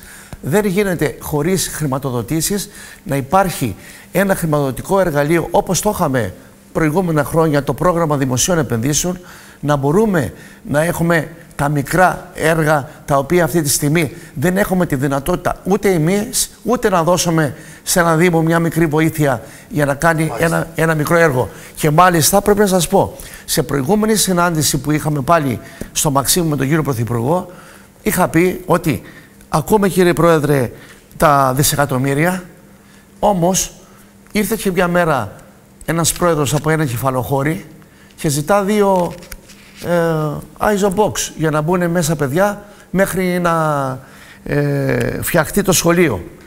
Και δεν υπάρχουν αυτοί οι πόροι. Δεν μπορούμε να λέμε όμως ότι δεν έχουμε 60-100 χιλιάδες για να, ε, να πάρουμε δύο κοντέινερ και να μπουν τα παιδιά μέσα. Και πιστεύω, πιστεύω γιατί σήμερα κατατίθεται Θέλω να σας πω το καταρχήν μεσοπρόθεσμο. ότι Τα, τα ερωτήματα των τηλεθεατών για τον ΒΟΑΚ, ε, το λέω ειλικρινά εδώ βλέποντάς τα και από τα τηλέφωνα, πέφτουν βροχή και θέλω να σας τα θέσω γιατί αυτό είναι και το ζητούμενο, να μπορούμε να απαντήσουμε Ό,τι θέλετε, στους, προσώ, ε, ό,τι, ε, ό,τι εσείς τηλεθεατές. νομίζετε Ναι. ε, και το γνωρίζω μπορώ να, να απαντώ. Ερώτηση, υπάρχει λέει μερέ- μελέτη για έξοδο από Φόδελε χωρίς να διασχίζεται κάθετα ο ΒΟΑΚ; Ο Φ- το Φόδελε είναι μια αντίστοιχη κατάσταση με αυτή που περιγράψαμε νωρίτερα στο Καλάμι ή παλαιότερα στον κόμβο της Αγίας Πελαγίας. Πάλι και εκεί πρέπει να κάνεις παρανομία για να ε, πας από την άλλη Αυτή πλευρά. τη στιγμή όμως επειδή θα ξεκινήσει το έργο, είναι εγκεκριμένες οι μελέτες Ωραία. και θα γίνει ασφαλές το δίκτυο το οποίο θα υπάρχει. Ε, ρωτάνε για, το, για το Νεάπολη, για τη μεγάλη ευθεία της Νεάπολης, για τη σήμανση και για τα χόρτα. Αυτή λέει η μελέτη και αυτό το έργο θα γίνει παράλληλα σε ολόκληρη την Κρήτη ή θα ξεκινήσει ας πούμε, από περιοχές όπως το Ιράκ, τα Χανιά που έχουμε όχι, περισσότερη τμηματικά, κίνηση. αναπεριφερειακή ενότητα. Αναπεριφερειακή αναπεριφερειακή ενότητα.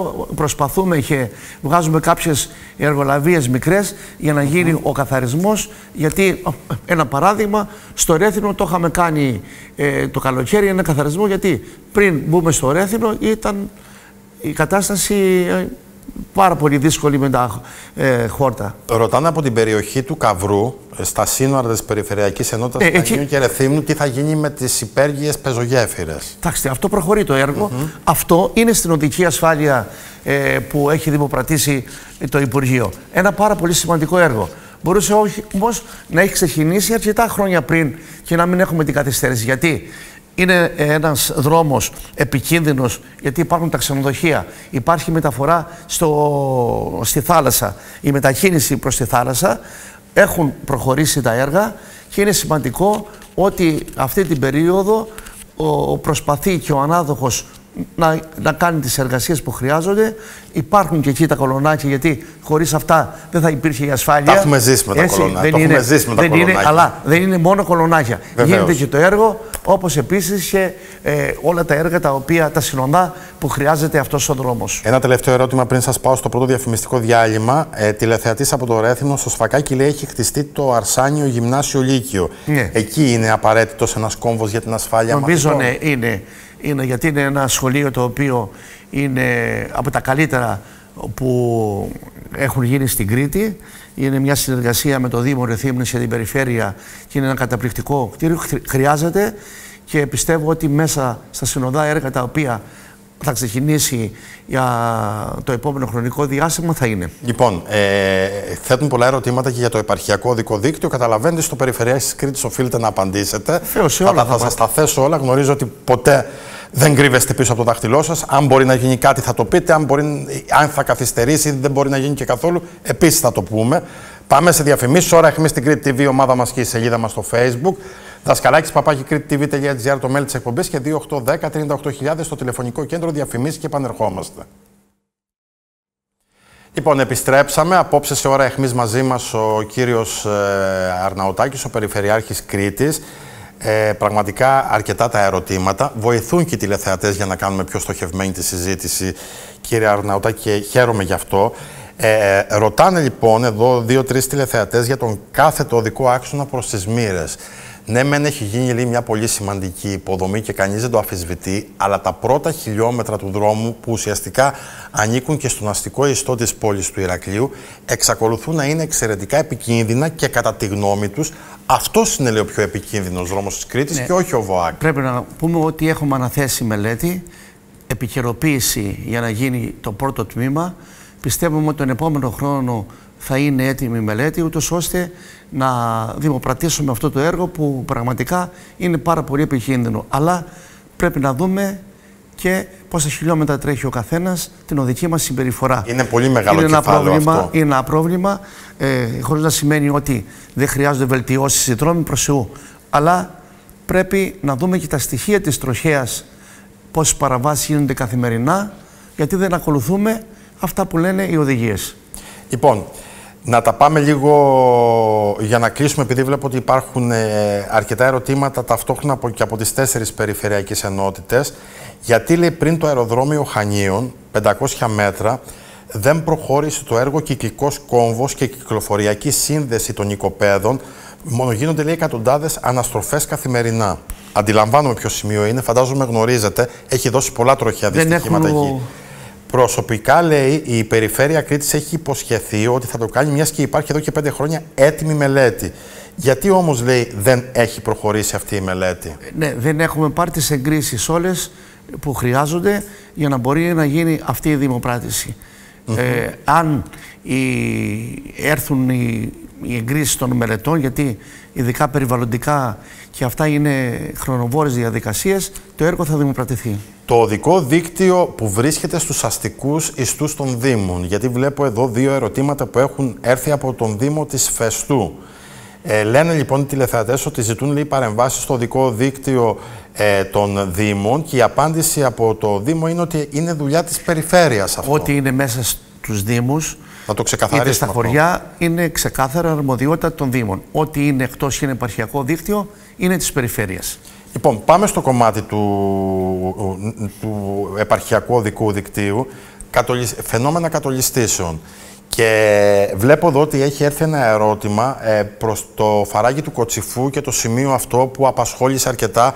Το έχουμε συζητήσει αρκετές φορές αυτήν εδώ την εκπομπή και με την συναδελφό σας, την Αντιπεριφερειάρχη Ρεθύμνου, την κυρία Λιονή. Τι γίνεται εκεί και δεν είναι μόνο αυτό το σημείο που χαρακτηρίζεται επικίνδυνο. Ήρθε ξανά και στην επικαιρότητα μετά από αυτήν την απίστευτη τραγωδία στον Εθνικό Δρυμό της Σαμαριάς. Ε, για το φαράγγι του Κοτσιφού πρέπει να σας πω ότι σε μια επίσκεψη που ήταν να πάω στον Πλαγιά με σταμάτησαν οι κάτοικοι για να γίνει το έργο αυτό. Είχαν μια έτσι αντίθεση ότι δεν προχωρεί για διάφορους λόγους, με πολιτισμένο τρόπο συζητήσαμε, ε, σταμάτησα για να συζητήσω. Δώσαμε την υπόσχεση ότι σε 10 μέρες από τότε θα, έχουμε, θα ξεκινήσει η εργολαβία. Προχωρεί. Δουλεύεται το έργο. Είναι ένα έργο που με ναερίτες γίνεται για να πιάσουν τα βράχια και οτιδήποτε χρειάζεται, να γίνουν οι μελέτες, να επικαιροποιήσουμε μελέτες, να προσπαθήσουμε να έχουμε το καλύτερο αποτέλεσμα με δύο καθηγητές. Φέραμε καθηγητή από το Μεσόβιο Πολυτεχνείο, μελετητής ο δικός μας που έκανε τη μελέτη, αλλά το έργο δουλεύεται. Μάλιστα. Περιμένουμε την ολοκλήρωσή του. Λοιπόν, ερώτημα που έχει να κάνει και με τον ΒΟΑΚ, έχει να κάνει και με το επαρχιακό οδικό δίκτυο. Θα θέλουν, λέει, μια απάντηση τι γίνεται με το οδόστρωμα που σε πολλά σημεία λέει, του ΒΟΑΚ αλλά και του επαρχιακού οδικού δικτύου χρειάζεται παρεμβάσεις λόγω των παλωμάτων. Θα γίνει κάτι σε αυτό το θέμα; Σε πάρα πολλά σημεία για το επαρχιακό δίκτυο αυτό που σας είπα την εργολαβία που είναι 40 εκατομμύρια προχωρεί αυτή την περίοδο. Δουλεύεται. Δουλεύεται και στο Λασίθι και στην περιοχή ε, από Ηράκλειο, από Μάραθο, Δαμάστα και προχωρεί ε, προς ο Μιλοπόταμο. Επίσης θα το, το έργο αυτό πιστεύω τον επόμενο χρόνο να έχει ολοκληρωθεί και δίνει μια σημαντική βελτίωση. Χρειάζονται όμως και άλλα γύρω δασκαλάκι. Δεν φτάνουν αυτά τα 40 εκατομμύρια. Να σας πω ότι για να έχουμε την παρέμβαση για όλο το, ο, το επαρχιακό δίκτυο, να πούμε ότι ε, για να έχουμε ένα ποσό... Είναι πιο δύσκολο έργο από ε, ότι τις παρεμβάσεις στο ΒΟΑΚ να υποθέσω Είναι πολύ δύσκολο γιατί είναι ένα δίκτυο το οποίο έχει γίνει πολλά χρόνια πριν ε, και πρέπει να έχουμε, να σας πω ότι και 400 εκατομμύρια να μπορούμε να βρούμε, χρειάζεται το επαρχιακό δίκτυο. Ε, τηλεθεατής από τον Μοχό λέει ότι πρέπει να γίνει μια ουσιαστική λέει, παρέμβαση στο οδικό δίκτυο από τον κόμβο της Σταλίδας προς το Μοχό καθώς τους χειμερινούς μήνες και κυρίως τη νύχτα η ορατότητα είναι απολύτως περιορισμένη. Μήπως λέει σε όλο το μήκος του δρόμου με τις στροφές θα έπρεπε να τοποθετηθεί φωτισμός; Ε, πρέπει να γίνει ε, με διαγράμμιση, κίτρινη διαγράμμιση στο συγκεκριμένο σημείο, το οποίο θα το κάνουμε. Επίσης στην παλιά... Γιατί δεν μπορεί να βάλεις φωτισμό σε όλο τον δρόμο, σε κάποια σημεία μόνο είναι. Δεν είναι για όλος τον δρόμος να μπορεί να γίνει φωτισμός. Άλλος φίλος της εκπομπής δηλώνει εδώ ότι από τότε που έγινε η παρέμβαση στην παλιά επαρχιακή οδό, ε, μάλλον εθνική οδό θέλει να πει, ε, από το Ηράκλειο στην Χερσόνησο, στο ύψος των κουβών, σταμάτησαν τα τροχαία και οι παρασύρσεις παρά λέει τις αντιδράσεις των κατοίκων εκεί. Αντίστοιχες κινήσεις θα μπορούσαν να γίνουν λέει και στον κόμβο της ανάληψης. Και βέβαια υπάρχει η συνεννόηση και με αρκετούς κατοίκους και με τον Δήμαρχο καταρχήν ε, και με τις υπηρεσίες μας για να γίνει ο κόμβος της ανάληψης. Επίσης ρωτάει εδώ ο τηλεθεατής ότι κατά πόσο είναι εύκολο να φωτιστεί όλο το κομμάτι αυτό από το Ηράκλειο στην Χερσόνησο και αναφέρεται στην παλιά Εθνική Οδό, που επίσης έχει λίγα χαρακτηριστικά ενός μεγάλου αυτοκινητόδρομου, χωρίς να έχει την δυνατότητα αυτή. Είχαμε κάνει εκεί παρέμβαση ε, και θα ξανακάνουμε και άλλη με στη θέα ασφαλείας που θα μπουν. Ε, η δημοπρασία είναι 3 εκατομμύρια και σύντομα θα έχουμε τον ανάδοχο, γιατί υπήρξε μια ένσταση μεταξύ των συμμετεχόντων εταιριών να προχωρήσει. Ε, είναι ο δρόμος αυτός που χρειάζεται πραγματικά μία ε, παρέμβαση. Ε, θα τον προχωρήσουμε μέχρι τη Χερσόνησο. Μάλιστα. Λοιπόν, εδώ, άλλος ε, τηλεθεατής αναφέρεται στον ε, κόμβο του Ανισαρά, αν θα μπορούσαν εκεί να γίνουν κάποιες συγκεκριμένες ε, παρεμβάσεις. Ε, κατά τη γνώμη μου θεωρώ ότι ο κόμβος του Ανισαρά έχει μία ιδιαιτερότητα, κύριε Αρναουτάκη, είναι σε ένα σημείο που το οδόστρωμα είναι αρκετά περιορισμένο. Εντάξει, για να γίνει οποιοδήποτε κόμμα πρέπει να υπάρχουν οι προποθέσει. Και ποιες είναι αυτές, οι αποστάσεις. Άρα, οτιδήποτε είναι να γίνει είναι σύμφωνα με αυτά που ορίζει η νομοθεσία για να είναι ένας ασφαλές ε, δρόμος. Είναι οι μελέτες προχωρούν πάρα πολλές. Με το ξεκίνημα ε, όλων των έργων θα μπορούμε να δούμε τα επιμέρους. Έχουμε με όλους τους Δήμους μια ε, εξαίρετη συνεργασία τι χρειάζεται στην κάθε περιοχή. Ε, έχουμε μελέτες που έχουμε αναθέσει ειδικά για το Δήμο Χερσονήσου μέχρι τα Μάλια να μπορεί να ξεφύγει από, τον, από μέσα από τη Χερσόνησο και να έχουμε μια παράκαψη. Το προχωρούμε όλα, αλλά είναι χρονοβόρες διαδικασίες, χρειάζονται πάρα πολλά χρήματα, αλλά χρειάζονται οι βελτιώσεις. Άρα, το πρώτο που πρέπει να κάνουμε, κύριε Δασκαλάκη, είναι οι βελτιώσεις μέχρι να φτάσουμε στο επιθυμητό αποτέλεσμα. Τηλεθεατής μέσω τηλεφώνου ρωτάει ε, γιατί δεν έχουν προχωρήσει οι διαγραμμίσεις σε πολλά σημεία του βόρειο άξονα της Κρήτης και αναφέρεται κυρίως στο κομμάτι λέει, του Ρεθύμνου. Ε, είχαμε δημοπρασία. Στο Ρέθυμνο θα κάνουμε και ένα έργο 1,5 εκατομμύριο. Τώρα θα ξεκινήσει, ε, πιστεύω, τέλος του μήνα ή αρχές του Νοέμβρη ε, και αμέσως μετά θα γίνουν οι διαγραμμίσεις. Λοιπόν, ε, επειδή βλέπω ότι υπάρχει πολύ μεγάλο ενδιαφέρον από την πλευρά των τηλεθεατών για το οδικό δίκτυο της Κρήτης, θα παραμερίσω λίγο την ερώτηση, τις ερωτήσεις, θα επανέλθω σε αυτές. Αυτή τη στιγμή υπάρχουν κάποιες εργολαβίες που ο Περιφερειάρχης Κρήτης τις χαρακτηρίζει σημαντικές αλλά και μεγάλες στο επαρχιακό οδικό δίκτυο της Κρήτης. Και αν είναι ποιες είναι αυτές; Στο επαρχιακό, σε όλες τις περιφερειακές mm -hmm. ενότητες υπάρχουν εξελίξει εργολαβίες και δασκαλάκι. Όμως χρειάζονται ακόμα και άλλα χρήματα. Έχουμε από το Ταμείο Ανάκαμψη αυτό που σας είπα τα 40 εκατομμύρια. Έχουμε δημοπρασίες αναπεριφερειακή ενότητα ε, επιμέρους δημοπρασίες και περιμένουμε ε, την συνάντηση με τον κύριο Πρωθυπουργό για να μας δοθούν πόροι να μπορούμε να δημοπρατήσουμε και άλλα έργα. Ξέρετε κάτι κύριε Περιφερειάρχα και νομίζω ότι σε αυτό δεν θα διαφωνήσετε.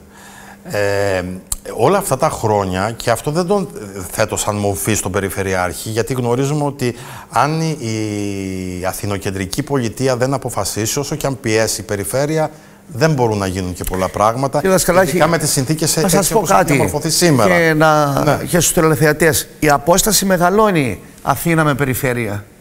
Το οποίο δεν είναι σωστό να, υπάρχει, να μην υπάρχει αποκέντρωση με αρμοδιότητες και πόρους. Δεν είναι δυνατόν με το παραμικρό θέμα να πρέπει να είμαστε και ο Δήμαρχος και ο Περιφερειάς στην Αθήνα κάθε εβδομάδα για να επιλύσουμε οποιοδήποτε θέμα. Έχει όμως πρέπει να υπάρχει. Ο κόσμος. Έχει κουραστεί. Ξέρετε, ναι. Έχει κουραστεί ο κόσμος και θα το πω έτσι λίγο λαϊκά. Είναι και αμαρτία σε αυτόν τον τόπο να χάνονται ανθρώπινες ζωές. Δηλαδή δείτε πόσο απλό ήταν να αλλάξει, να γίνει ένα έργο που δεν ήταν και από τα πιο ε, τραγικά, ακριβά έργα που γίνονται. Μιλάω για τον κόμβο της Αγίας Πελαγίας. Εγώ προσωπικά, στα χρόνια που ήμουν έξω στο ρεπορτάζ, είχα δει εικόνες απίστευτες.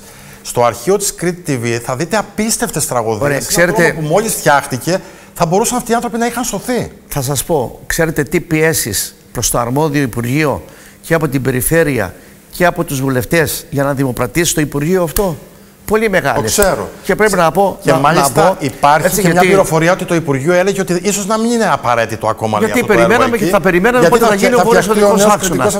Και πρέπει να πω ότι και ο Δήμαρχος τότε, αλλά ε, και όσο κράτησε ο Βαρδάκης ως βουλευτής που πίεζε mm -hmm. πάρα πολύ, και εμείς ως περιφέρεια να μπορούμε το έργο αυτό να ενταχθεί και να το δημοκρατήσει στο Υπουργείο. Να είναι απαράδεκτο να λέμε θα περιμένουμε 10 χρόνια μέχρι να γίνει ο βόρειο οδικός άξονας. Ό,τι γίνεται στο αεροδρόμιο του Ηρακλείου. Αυτό γίνεται. Η Περιφέρεια Κρήτης, λέει, ότι, λέει τηλεθεατής, έχει χαρτογραφήσει τα επικίνδυνα σημεία κατολιστήσεων στο επαρχιακό οδικό δίκτυο ε, της Κρήτης. Έρχεται χειμώνας και δυστυχώς οι εκπλήξεις θα μπορούσαν να είναι δυσάρεστες σε πολλές περιοχές ο φίλος τηλεθεατής αναφέρεται ότι παίρνει από τον πλα... στέλνει μήνυμα από τον πλακιά. Εντάξει, πάρα πολλά ε, σημεία έχουν, αλλά εάν έχουμε ένα... Το κουρταλιώτικο, ας πούμε, φαράγγι, το οδικό δίκτυο εκεί, κανείς δεν μπορεί να γνωρίζει πώς μπορεί να αντιδράσει μια τέτοια ε, έκταση, που, ένας δρόμος που περνάει ανάμεσα σε δύο βουνά. Ναι, είναι ένα πρόβλημα το οποίο είναι πρόβλημα σοβαρό. Δεν είναι κάτι. Εμείς ε, έχουμε τις μελέτες, προχωρήσαμε αυτά που λένε οι μελετητές. Όσα έργα μπορούμε και έχουμε κάνει μελέτες, μπορούμε να έχουμε ένα καλό αποτέλεσμα. Για να γίνει όμως όλο το δίκτυο, δεν μπορεί να γίνει και να έχουμε. διότι είναι πανάκριβα τα έργα αυτά, δεν μπορεί να γίνει. Και είδαμε στο βόρειο δικό άξονα, όταν είχαμε τις καταστροφές το 2019 και 2020, ότι πόσα εκατομμύρια το Υπουργείο δημοπράτησε παρά το ότι ήταν αρμοδιότητα της περιφέρειας Κρήτης δημοπράτησε όμως το Υπουργείο και καταχέβασε το Υπουργείο. Επειδή αναφερόμαστε σε επαρχιακό δικό δίκτυο, όμως μιλάμε και στο αστικό δικό δίκτυο που έχει να κάνει και με το φωτισμό. Λέει εδώ μία τηλεθεάτρια ότι στο δρόμο λέει Ηράκλειο Μαλάδες, δρόμος μεγάλης και ταχείας κυκλοφορίας, ο φωτισμός είναι υπέστατος Σε κάποια σημεία, όταν κάθε ένα μέτρο υπάρχει, λέει στήλος που όμως δεν λειτουργεί. Απορεί κανείς γιατί τόσο πολύ διακοσμητική στήλη. Επίσης, υπάρχει ένας σιδερένιο στήλος πριν από τα πλαστικά κρίτη εδώ στην ΒΙΠΕ που έχει λέει, πάρει επικίνδυνη κλίση χρόνια τώρα. Δεν γίνεται να μην τον βλέπουν. Όταν πέσει θα είναι αργά, λέει Λοιπόν, τη έχουμε, λεπτάτρια. έχουμε για το δρόμο των Μαλάδων χρηματοδότηση.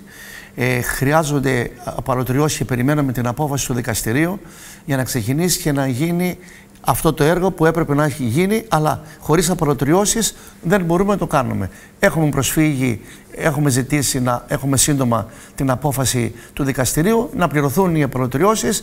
Έχουμε 5 εκατομμύρια τα οποία έχουν εγκριθεί από το Υπουργείο για να προχωρήσει αυτό το πρώτο κομμάτι το οποίο λέει η χειρία. Θεωρείτε ότι στο- η Κρήτη στο κομμάτι του οδικού δικτύου είναι ένας τόπος δύο ή τριών ταχυτήτων; Θα μου πείτε εδώ πέρα τόσα χρόνια δεν έχουμε καταφέρει ακόμα να φτιάξουμε ένα κριτικό αυτοκινητόδρομο εφάμιλο της δυναμικής του νησιού.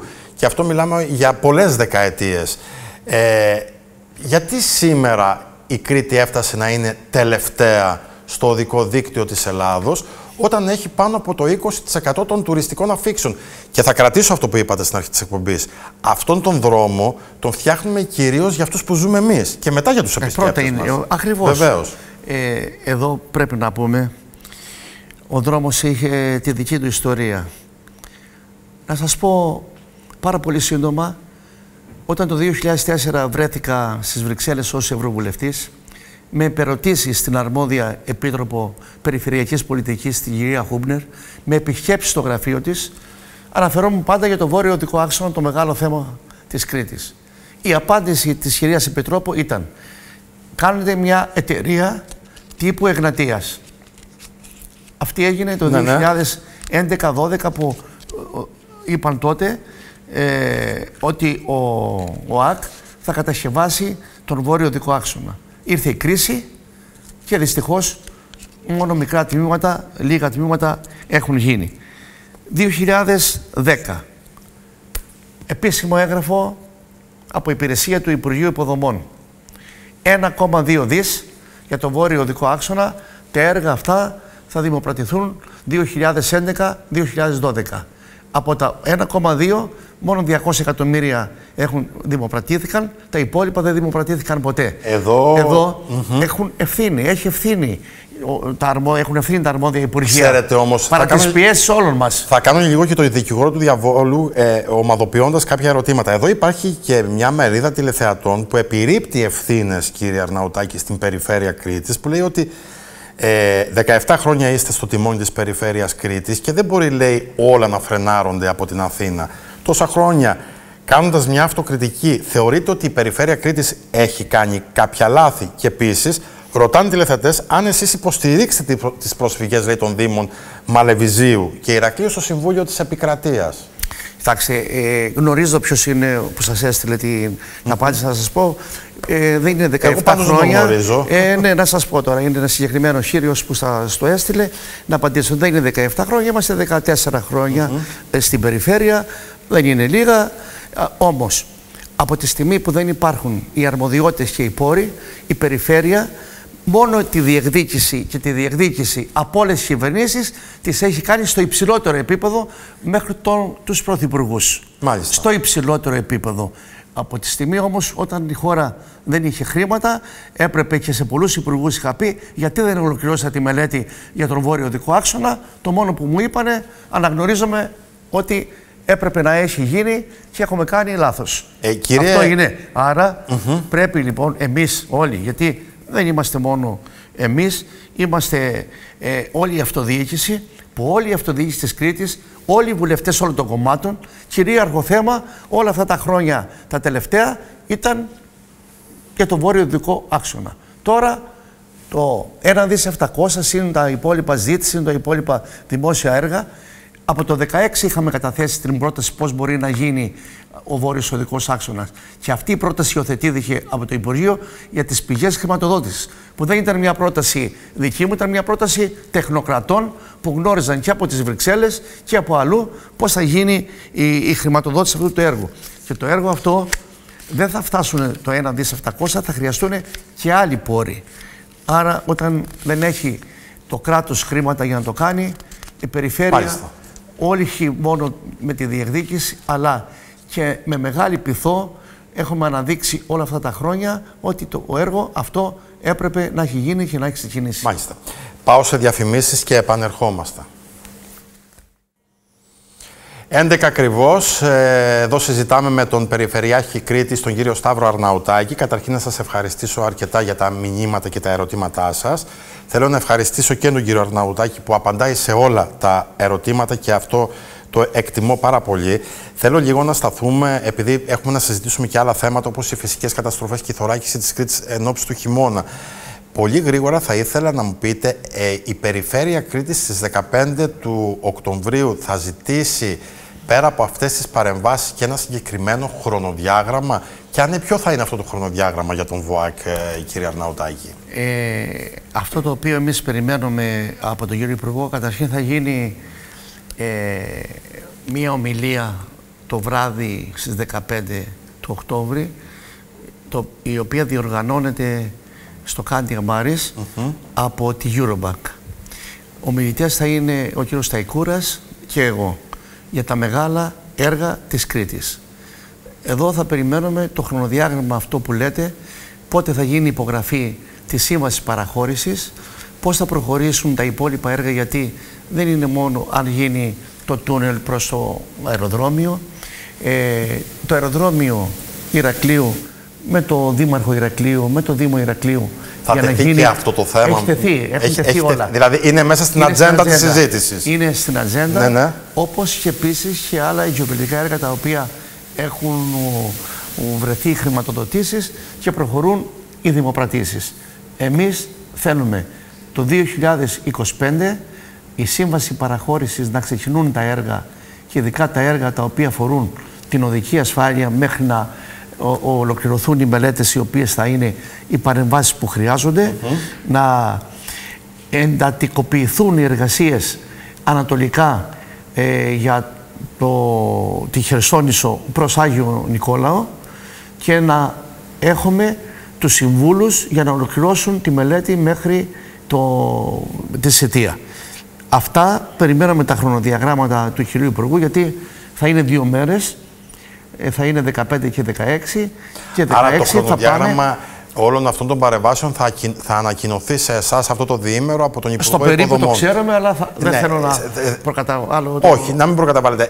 αυτό θα σας το ρωτήσω αλλιώς. Είναι χρονοβόρα διαδικασία αυτών των παρεμβάσεων; Γιατί κάποιος μπορεί να πει ότι αφού φτιάχνουν τον καινούργιο δρόμο, γιατί να δώσουν λεφτά για έναν δρόμο που όχι, μπορεί σε λίγο δεν μπορεί να, να αποσυρθεί; Δεν μπορεί να περιμένει γιατί υπάρχουν λόγοι που πρέπει να γίνει αυτή η βελτίωση. Έχει δοθεί η εντολή από τον ίδιο τον κύριο Πρωθυπουργό. Περιμένουμε την ανακοίνωση του κυρίου Υπουργού ε, να μας πει πότε θα ξεκινήσουμε. Εγώ θεωρώ ότι το έργο αυτό θα ξεκινήσει στο νέο χρόνο σύμφωνα με τις συζητήσεις που έχουμε κάνει, αλλά ε, όλα και για το τούνελ και για τα υπόλοιπα έργα της Κρήτης να μπορούμε να έχουμε ε, τις απαντήσεις από τον Υπουργό. Βλέπω εδώ ένα πολύ μεγάλο ενδιαφέρον για τον φωτισμό και τη σήμανση. Σας το έθεσα και στο προηγούμενο μέρος της εκπομπής. Είναι πολύ σημαντικό. Θα πω χαρακτηριστικά κάποιες είναι, περιοχές για να ακούσουν και οι ναι. Μου, μου στέλνουν μήνυμα από την περιοχή του Τσούτσουρα, από την περιοχή των Φαλασάρνων, από το ύψος του χωριού Κολένης στην Κίσαμο, από την ε, περιοχή της Νεάπολης, από την περιοχή της Σιτίας στο ύψος λέει, του Μόχλου. Ε, εκεί χρειάζονται κάποιες παρεμβάσεις στο οδικό δίκτυο και για φωτισμό και για, για καλύτερη σήμανση αλλά και για καθαρισμό. Και ε, ρωτάω εγώ, πόσο δύσκολο είναι αυτό να είναι μια ενιαία μελέτη που θα γίνει ταυτόχρονα και στις τέσσερις περιφερειακές ενότητες; Δηλαδή, ο καθαρισμός, τα χόρτα, η σήμανση. Αυτό... Αυτή, ας πούμε, η ντροπιαστική εικόνα που βλέπουμε πινακίδες με σφαίρες. Μα συνεχώς για να βάλουμε πάλι θα ξανά έχουμε mm. σφαίρες. Δεν είναι θέμα ότι θα σταματήσει και θα αντικαταστήσουμε Έχετε κάποια. αυτό δυστυχώς. Είναι δυστυχώς, συνεχώς έχουμε τέτοια φαινόμενα. Χρειάζονται οι πόροι, κύριε Βασκαλάκη. Οι πόροι δεν δίνονται από το αρμόδιο Υπουργείο. Και σας λέω, ένα θέμα βάλαμε στη συζήτηση με τον κύριο Πρωθυπουργό, μόνο πρόγραμμα δημοσίων επενδύσεων. Δεν μπορούμε χωρίς πόρους να κάνουμε κανένα από τα έργα αυτά έστω με λίγους πόρου που είναι, θα κάνουμε τα στοιχειώδη. Όμως, εάν δεν δοθούν, την ευθύνη δεν θα την έχουμε εμείς, θα την έχει το αρμόδιο Υπουργείο. Μάλιστα. Θα κλείσω το κομμάτι του δικού δικτύου με ένα τελευταίο ερώτημα. Έχετε κάνει ήδη μια μικρή προσέγγιση και μια μικρή αναφορά στην συζήτησή μας. Μπορούμε να δούμε με τη βοήθεια και της σκηνοθέτης Κατερίνας Ροδοκανάκη εικόνες από το εργοτάξιο στο νέο αεροδρόμιο στο Καστέλι και ρωτούν πολλοί τηλεθεατές. Και αυτό είναι και, κατά τη γνώμη μου και μια ωραία ερώτηση γιατί είναι το αύριο της Κρήτης. Τι θα συναντά ο πολίτης, ο επισκέπτης, ο ντόπιος από τον κόμβο της Χερσονήσου για να φτάσει μέχρι το νέο αεροδρόμιο στο Καστέλι; Γιατί δεν είναι μόνο ο αεροσταθμός, τα πάρκινγκ, ο πύργος ελέγχου, η θέση στάθμης των αεροσκαφών και οι διάδρομοι, είναι και ένα ε, συνολικό πακέτο έργων για να φτάσουμε μέχρι το νέο αεροδρόμιο στο ναι. Καστέλι. Δύο είναι τα θέματα για να φτάσουμε. Τα αντιπλημμυρικά έργα τα οποία και αυτά με ομόφωνη απόφαση έχουμε ζητήσει από το αρμόδιο Υπουργείο. Γιατί δεν γίνεται να κάνεις ένα έργο ένα δισεκατομμύριο και αύριο να έχουμε μια φυσική καταστροφή και να μην έχουμε που θα πάνε τα νερά και αποδέχτες. Άρα και αυτό είναι θέμα που περιμένουμε την απάντηση από τον αρμόδιο Υπουργό που πρέπει να σας πω ότι συζητούμε τακτικά με τον κύριο Σταϊκούρα. Έχει μια κατεύθυνση θετική για να γίνουν κάποια πράγματα, αλλά αυτά χρειάζονται και τους σπόρους. Βλέπουμε και τώρα, επίσης... πούμε, κύριε Αρναουτάκη, εδώ πέρα την υποδομή. Είναι μια ναι. πολύ σημαντική υποδομή. Αν μπορούμε να τη δούμε και ολόκληρη, να τη δουν και οι τηλεθεατές, αυτοί που δεν μπορούν. Είναι ένα έργο το οποίο, το οποίο προχωρεί Βλέπουμε ικανοποιητικά. Ένα, ένα έργο κολοσσό, κανείς δεν το αφισβητεί. Είναι αυτό που οι κριτικοί χαίρονται γιατί το βλέπουν. Ξέρετε, κάμια φορά λέμε για τον κριτικό αυτοκινητόδρομο ότι μπήκανε μπουλντόζες. Εδώ βλέπουμε ένα νέο αεροδρόμιο να φτιάχνεται. Και σε πολύ λίγο θα δούμε και ένα οδικό δίκτυο που συνδέει αυτό το αεροδρόμιο. Όχι, γίνεται το οδικό δίκτυο, ναι, αλλά αυτό ακριβώς. Εμείς θέλουμε τώρα. Θέλω να σταθούμε λίγο στο ναι, οδικό δίκτυο. Εμείς, εμείς, το οδικό δίκτυο, ένας που θα πάει προς το Καστέλι θα δει ότι κατασκευάζεται ο δρόμος. Mm. Όμως θέλουμε την έγκριση για το τούνελ είναι απαραίτητη προπόθεση. Πιέζεται έχουμε... σφιχτικά για αυτό το έργο. Πάρα πολύ. Και είστε και από τους πρώτους που το ανέφερε, θυμάμαι πριν από κάποια χρόνια, ενώ υπήρχε αφισβήτηση από την πλευρά του αρμόδιου Υπουργείου. Το χαρακτήριζε δεν... όχι απαραίτητο για την περιοχή. Ναι, δεν, το, δεν ήθελα για διάφορους λόγους. Να σας πω, ένας λόγος. Ποιος θα το συντηρεί; Πρώτα είναι η ασφάλεια του πολίτη. Δεν είναι ποιο θα το συντηρεί.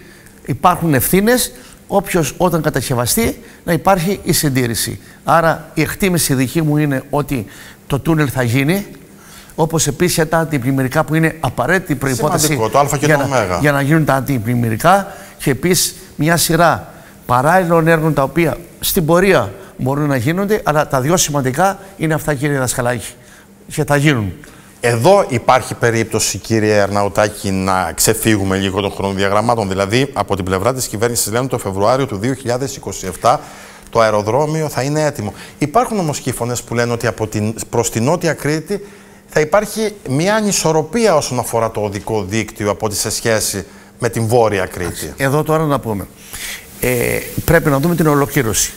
Όταν είναι ένα έργο που είναι ένα δισεκατομμύριο, εδώ κάνουμε, να σας πω, κάνουμε ένα μικρό έργο και έχουμε παρατάσεις, παρατάσεις, παρατάσεις. Ναι. Δεν γνωρίζω αν ξεφύγουν από το χρονοδιάγραμμα. Εδώ αυτό που χρειάζεται μετά, επειδή υπάρχει μια μελέτη στο Υπουργείο και είναι 35 χιλιόμετρα για τον νότιο οδικό άξονα που πρέπει να ολοκληρωθεί, δεν έχει δοθεί εντολή στον ανάδοχο που έχει αυτή τη μελέτη για την ολοκλήρωση. Και αυτό είναι ένα θέμα που το έχουμε θέσει στον κύριο Υπουργό. Χρειάζονται και οι πόροι για την ολοκλήρωση, αλλά να έχουμε την μελέτη για να μπορούν να βρεθούν μετά από κάποια χρόνια για να γίνει ο νότιος οδικός άξονας. Γιατί αντιλαμβάνεστε όταν έχουμε έργα που είναι 2,5 δισεκατομμύρια και ένα δισεκατομμύριο αυτό 3,5 δισεκατομμύρια είναι τα χρήματα πολλά. Πρέπει να δούμε και εδώ είναι η αντιπαράθεση τώρα και η αντίθεση αν θέλετε την καθημερινότητα. Αυτά τα μικρά που λέμε, τις πινακίδες, την καθαριότητα, το φωτισμό. Όλα αυτά είναι πόροι που πρέπει να δει το αρμόδιο Υπουργείο και να δώσουν ο, αυτές τις χρηματοδοτήσεις για να μπορούμε να έχουμε το καλύτερο αποτέλεσμα. Δεν γίνεται να μην μπορούμε να κάνουμε ένα καθαρισμό, δεν γίνεται να μην υπάρχουν τόσοι πόροι για να έχουμε το φωτισμό για την ασφάλεια. Οριζόντια κάθετη σήμανση είναι ασφάλεια. Έχουμε μείωση των ατυχημάτων κατά 25% όταν υπάρχει η οριζόντια και κάθετη σήμανση. Πρέπει να γίνει. Μάλιστα. Ε, εγώ πάντως εδώ αντιλαμβάνομαι ότι το, το έργο προχωράει με γρήγορους ρυθμούς και θέλω να πιστεύω ότι ακόμα και αν υπάρξει παράταση θα είναι μια μικρή παράταση. Εδώ να σας πω ένα γιατί παράδειγμα. Έχει φτάσει σχεδόν στο 50%. Να σας πω ένα παράδειγμα. Ότι είχαν 900 εργαζόμενους και χρειαζόταν άλλους 400 και δεν υπήρχαν άτομα για να πάνε να Εργατικά δουλέψουν. χέρια για να Εργατικά δουλέψουν. χέρια. Δεν, δεν είναι μόνο το ένα, αλλά επειδή είναι μια μεγάλη εταιρεία και επειδή ε, προχωρεί, εγώ εκτιμώ ότι το χρονοδιάγραμμα θα είναι κοντά σε αυτό που έχει υποθεί. Λοιπόν, ε, δεν με αφήνουν τηλεθεατές στο κομμάτι του οδικού δικτύου. Δηλαδή, έρχονται ε, συνεχώς ερωτήματα. Θα μου επιτρέψετε πολύ γρήγορα να σας θέσω δύο ερωτήματα που κατά τη γνώμη μου τα θεωρώ πολύ σημαντικά. Εδώ μια τηλεθεάτρια από την Κίσαμο μιλάει για την εξαιρετικά άσχημη κατάσταση που υπάρχει, λέει, στο οδικό δίκτυο στα Νοπίγια, στο κεντρικό δρόμο ε, της Κισάμου. Ε, χαίρομαι γιατί γνωρίζετε πάρα πολύ καλά όλη την Κρήτη και αυτό οφείλω να σας το αναγνωρίσω. Δηλαδή, ε, δεν έχετε θέσει ποτέ ερώτημα πού μπορεί να είναι αυτή η περιοχή και επίσης ξαναθέτουν το θέμα του καυρού. Είναι δύο σημεία Μα στο εξαιρετικά Γαυρό- στο επικίνδυνα. Γαυρό γίνεται- Απαντήσατε. Ναι, είπα στο Γαυρό. Ε, Ναι. Όμως εκεί στην περιοχή στην οποία έχει κοινά χαρακτηριστικά με τον Εντάξει. Γαυρό. Είναι ένας δρόμος μεγάλης ευθείας. Ναι, σε αυτό θα δοθεί, αν δεν έχει δοθεί μέχρι σήμερα, για να γίνει η οδική ασφάλεια μέχρι, τη, μέχρι την Κίσαμο. Άρα, άρα στην κυρία απαντώ ότι το τμήμα αυτό θα συμπεριληφθεί μέσα σε αυτό που θα ανατεθεί το επόμενο χρονικό διάστημα για να γίνει. Ρωτάει η τηλεθεατή αν με βάση λέει, τα έργα αυτά που γίνονται στο αεροδρόμιο του Καστελίου υπάρξει μια σ- ουσιαστική παρέμβαση και στον κόμβο της Χερσονήσου. Γιατί ουσιαστικά το οδικό δίκτυο που φτιάχνεται, θα το πω έτσι και Αυτό λαϊκά, είναι- δρόμος του κουτιού, Είναι, είναι ο δρόμος από είναι τον κόμβο της ακριβώς. Μα Χερσονήσου σίγουρα, μέχρι και το Σίγουρα θα αεροδρόμιο. υπάρξει γιατί θα υπάρχει μεγάλη κίνηση, άρα πρέπει να γίνει μια άλλη διαμόρφωση που υπάρχει. Ήδη ένας κόμβος μεγάλος. Μάλιστα. Λοιπόν, θέλω να πάμε σε ένα θέμα και θα κλείσουμε με το οδικό δίκτυο. Ε, ας με συγχωρήσουν και οι τηλεθεατές, γιατί υπάρχουν και άλλα θέματα που πρέπει να θίξουμε με τον ε, Περιφερειάρχη Κρήτης. Όχι, έχουν δίκιο οι τηλεθεατές γιατί είναι το κορυφαίο θέμα που αντιμετωπίζουμε γιατί είναι η ασφάλεια. Η ασφάλεια όλων μας. Πρέπει λοιπόν να έχουμε αυτούς τους πόρους για να μπορούμε να έχουμε το καλύτερο αποτέλεσμα. Έχουμε μπροστά μας μία χειμερινή περίοδο. Και αυτή τη στιγμή όλη η Κρήτη ελπίζουμε το, στο να βρέξει για να σταματήσει και ο εφιάλτης της λειψιδρίας. Όμως στην πίσω πλευρά του μυαλού μας, κύριε Αρναουτάκη, υπάρχει και η σκέψη αν θα βρέξει πολύ και τι μπορεί να προκύψει. Μπορώ να θυμηθώ δεκάδες περιπτώσεις. Να ξεκινήσω από την τραγωδία στην Αγία Πελαγία, από, την, νερο- από το μπουρίνι του καλοκαιριού στο Παλαιόκαστρο, Ανάληψη, Ανισαρά, στα χωριά της Λαγκάδας, Μιλοπόταμος, ε, Σφακάκι στο Ρέθυμνο, περιοχές των Χανίων. Έχουμε πλημ... Κερίτης, έχουμε πλημμυρικά φαινόμενα παντού. Και τα τελευταία χρόνια αντιλαμβανόμαστε ότι όσο αλλάζουν οι κλιματολογικές συνθήκες, η Κρήτη είναι και ανήμπορη στο να αντιδράσει σε αυτές τις μεγάλες ποσότητες νερού. Δηλαδή, από τη μια ευχόμαστε να βρέξει και από την άλλη φοβόμαστε αν θα βρέξει πολύ. Εντάξει. Μέχρι το 2018 δεν είχαμε ακραία καιρικά φαινόμενα, ήταν κάτι ελάχιστα, ειδικά στη Δυτική Κρήτη. Είδαμε όμως το 19, είπατε τον Κερίτη, όταν φεύγει η γέφυρα του Κερίτη, κύριε Δασκαλάκη, 100 χρονών γέφυρα που ήμουνα εκεί, ήμουνα και πριν τρεις μέρες πριν φύγει, γιατί είχαμε καταστροφές, όταν ε, έρχονται οι ειδικοί και λένε φαινόμενα Ινδονησίας, καθηγητές του Μετσοβίου, όταν ε, έρχεται ο κύριος Λέκας και λέει κάθε 500 χρόνια γίνεται αυτή η νεροποντή, αυτό ό,τι και αν κάνεις δεν μπορείς. Όταν μέσα από τα βράχια του ΒΟΑΚ φεύγουν τα νερά, όταν το ΣΕ130 δεν μπορεί να προσγειωθεί στα Χανιά και έρχεται στο Ηράκλειο, όταν βλέπουμε ε, τόνους νερού να έχουμε αυτά τα αποτελέσματα και αυτές τις καταστροφές, αν έχουμε τέτοια φαινόμενα, δεν μπορεί να πει κανείς ότι είναι θωρακισμένη η, η Κρήτη. Κανείς δεν μπορεί να το πει Σας ότι τρομάζει, υπάρχει... σας, δηλαδή αυτή τη στιγμή, να το πω λίγο πιο απλά, τρομάζει ο Περιφερειάρχης Κρήτης αν η Κρήτη λαβωθεί ή χτυπηθεί από ένα ακραίο καιρικό φαινόμενο. Εντάξει, ένα ακραίο- Που δεν χρειάζεται και πολλή ώρα. Δηλαδή Αυτό- όλες αυτές οι καταστροφές αυτό που χρειάστηκαν εμείς- λίγες ώρες για να γίνουν. Αυτό που πολύ λίγες ώρες. Λίγα Αυτό- λεπτά, λί- λίγα Αυτό που δεκα- εμείς προσπαθούμε είναι ρέματα και ποταμούς να υπάρχει ένας καθαρισμός. Που και σε αυτά πάλι οι πόροι λένε πάρει την αρμοδιότητα χωρίς ένα ευρώ. Να σας πω ότι έχουμε 10 του μήνα με τον κύριο Κιχίλια τηλεδιάσκεψη για τέτοια φαινόμενα. Ναι. Όμως αυτό που απάντησα με επιστολή μου είναι δώστε και χρήματα να προχωρήσουμε στους καθαρισμούς ρεμάτων και ποταμών. Κάνουμε τα στοιχειώδη, όμως αν έχουμε, δηλαδή αν υπάρχουν φαινόμενα ε, όπως είδαμε τα προηγούμενα χρόνια, θα έχουμε προβλήματα. Δεν θα πει κανείς, δεν μπορώ να πω ότι είναι θωρακισμένη η Κρήτη. Θα ήταν ε, ε, ανέντιμο για μένα να πω ένα τέτοιο πράγμα. Σας τρομάζουν ότι μέσα στο καλοκαίρι αλλά και την περίοδο του προηγούμενου χειμώνα που δεν ήταν και βαρύς ο χειμώνας είχαμε μια παρατεταμένη καλοκαιρία εξού και το γεγονός ότι σήμερα αντιμετωπίζουμε ένα τεράστιο πρόβλημα λειψιδρίας το οποίο θα το θίξουμε σε πολύ λίγο. Ε, η Κρήτη αντέδρασε και ανέδειξε και ένα άλλο πρόβλημα που είναι οι κατολιστήσεις. Οι κατολιστήσεις υπήρχαν, θα υπάρχουν.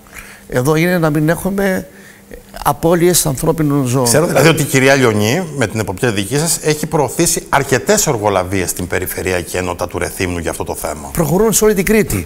Αλλά πάλι πολλές φορές δεν φτάνουν, κύριε Δασκαλά, γιατί χρειάζονται ε, εκατομμύρια για να μπορείς να πεις ότι με τι κατολιστήσει θα έχουμε το καλύτερο αποτέλεσμα. Προσπαθούμε τα επικίνδυνα σημεία να έχουμε τις παρεμβάσεις αυτές ε, που χρειάζονται.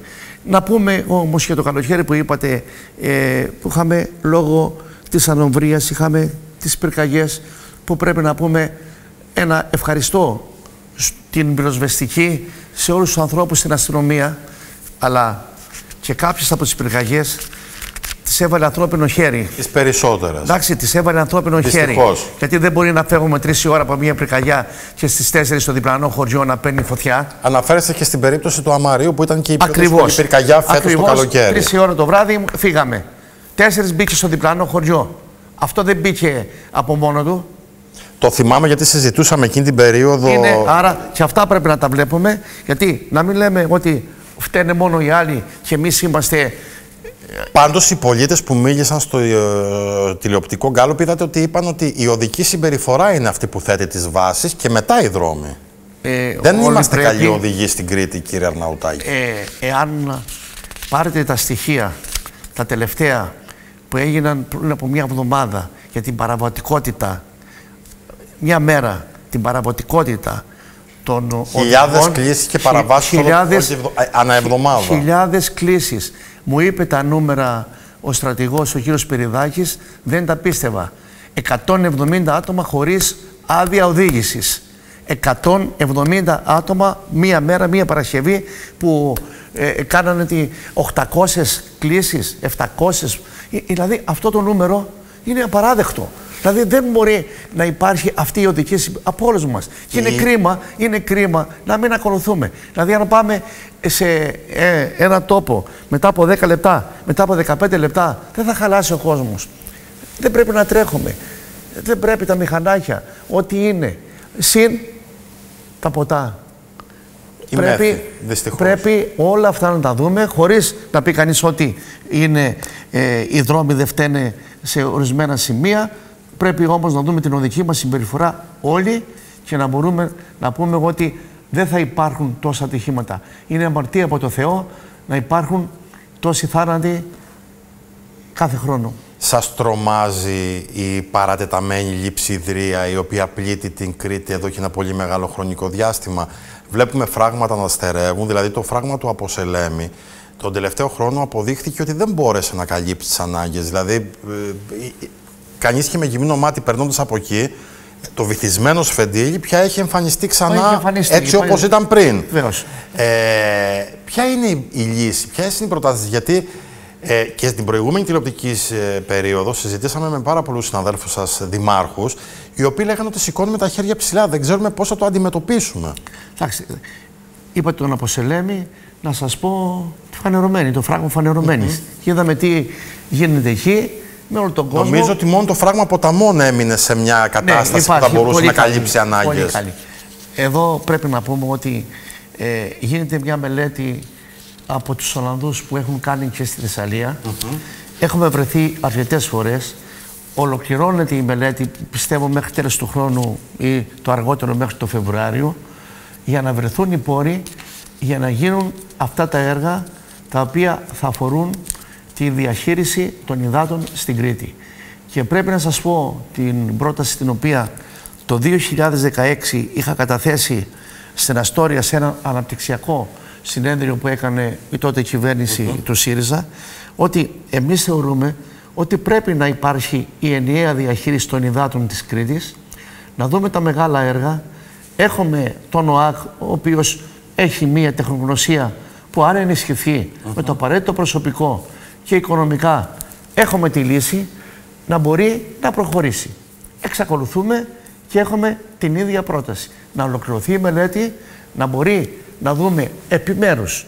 Γιατί δεν θα είναι ότι θα φεύγει το νερό από τα χανιά για να πηγαίνει στη σιτία, αλλά επιμέρους οι λεκάνες που υπάρχουν να μπορούν να έχουμε ανά περιοχή ε, όλη αυτή τη διαχείριση την ενιαία αναπεριοχή, να υπάρχει ένα καλό αποτέλεσμα για να δούμε πώς θα οδηγηθούμε τα επόμενα χρόνια. Είναι ένα πάρα πάρα πολύ σοβαρό πρόβλημα. Αν και όχι μόνο για την ίδρυυση και για την όπως το προηγούμενο, τι θα και κάνουμε; για την άρδευση, γιατί πρέπει να γνωρίζουμε ότι πάνω από το 80% κύριε Δασκαλάκη της κατανάλωσης του νερού 80 με 85% είναι για την άρδευση. Αλλά η άρδευση χρειάζεται για τους αγρότες μας. Ε, επίσης, ε, το 15% είναι για την ίδρυυση. Αυτό που συζητείτε τώρα είναι ότι αναπεριφερειακή ενότητα θα γίνει μία ΔΕΙΑ για να μπορεί να διαχειρίζεται ε, όλη την περιφερειακή ενότητα. Εδώ πρέπει να σας πω, για να δείτε ότι η Περιφέρεια Κρήτης είχε προχωρήσει πάρα πολύ για να κάνει τις ενεργειακές κοινότητες. Είχαμε προχωρήσει σε ένα περιφερειακή ενότητα, είχαμε προχωρήσει μελέτες σε όλους τους στοεύ της Κρήτης. Γιατί; Όταν λέμε ότι θέλαμε να μείνει ο κόσμος στα χωριά, πρέπει να έχει μια μείωση και να μπορεί να ποτίσει και να έχει ένα καλό αποτέλεσμα για να βγάλει ένα καλό προϊόν. Είμαστε πανέτοιμοι. Εγκεκριμένο πρόγραμμα για τις μελέτες από την Ευρωπαϊκή Τράπεζα Επενδύσεων με 95% χρηματοδότηση. Πάνω που είμαστε έτοιμοι για να κάνουμε και τη σύνδεση με τον ΑΔΜΙΕ, δεν πήραμε εγκρίσεις σύνδεσης. Γιατί; Γιατί ο χώρος της Κρήτης δεν έφτανε, έφτανε μόνο για τους λίγους, δεν έφτανε για τους πολλούς. Κατάλαβα. Να δούμε τι έχει γίνει και στη Μινώα Ενεργειακή, ένα τεράστιο έργο που έχει γίνει στο Δήμο Μινώα Παιδιάδος από τον Πάπη τον Γιαννόπουλο. Συμμετέχουμε, διεκδικούμε. Περιμένουμε την Υπουργό να έρθει, γιατί έχω μιλήσει με την κυρία Ζούκο. Περιμένουμε ότι πρέπει μέσα στο μήνα να έρθει για να πει πέντε πράγματα, γιατί ε, ακυρώθηκε όλος αυτός ο σχεδιασμός και κάνουν ένα καινούριο σχεδιασμό. Αλλά για να δείτε, η Περιφέρεια Κρήτης με 39 το ΕΒ είχαμε κάνει τις μελέτες, είχαμε προχωρήσει για να έχουμε τη ε, ενεργειακή σύνδεση. Δεν την πήραμε όμως. Α, εάν λοιπόν με δεδομένα τις περιγραφές, αυτε, δεδομένες τις περιγραφές αυτές που κάνετε τώρα Μείωσε το κόστος θέλουμε. Ναι, ενέργειας. συνεχίσει να έχουμε αν- έναν άνυδρο χειμώνα Ναι. μπροστά. Υπάρχουν έργα Μπορεί η Κρήτη να θωρακιστεί με φόντο και την επόμενη τουριστική σεζόν που Να- τρι- ναι. τριπλασιάζεται και τετραπλασιάζεται ο πληθυσμός της. ε, η θωράκιση πρέπει να πούμε ότι το πρώτο είναι, το πρωτεύον, είναι ε, για την ίδρυυση, άρα μέσα από μείωση η βιολογική πρέπει να πηγαίνει τριτοβάθμια επεξεργασία ξενοδοχεία. Να ποτίζεται το πράσινο από τριτοβάθμια επεξεργασία. Από τους βιολογικούς που υπάρχουν. Δηλαδή εδώ στο Δήμο Ηρακλείου που έχουν πάρει δι- δύο προγράμματα και μπορούν να δευτούν όλες οι περιοχές από το βιολογικό είναι πάρα πολύ σημαντικό για να δούμε ότι από το ίδιο νερό μπορεί να έχουμε μια άρτευση των αγροτικών περιοχών και σε όλη την Κρήτη. Το ίδιο στα Χανιά, στον Έθιμνο.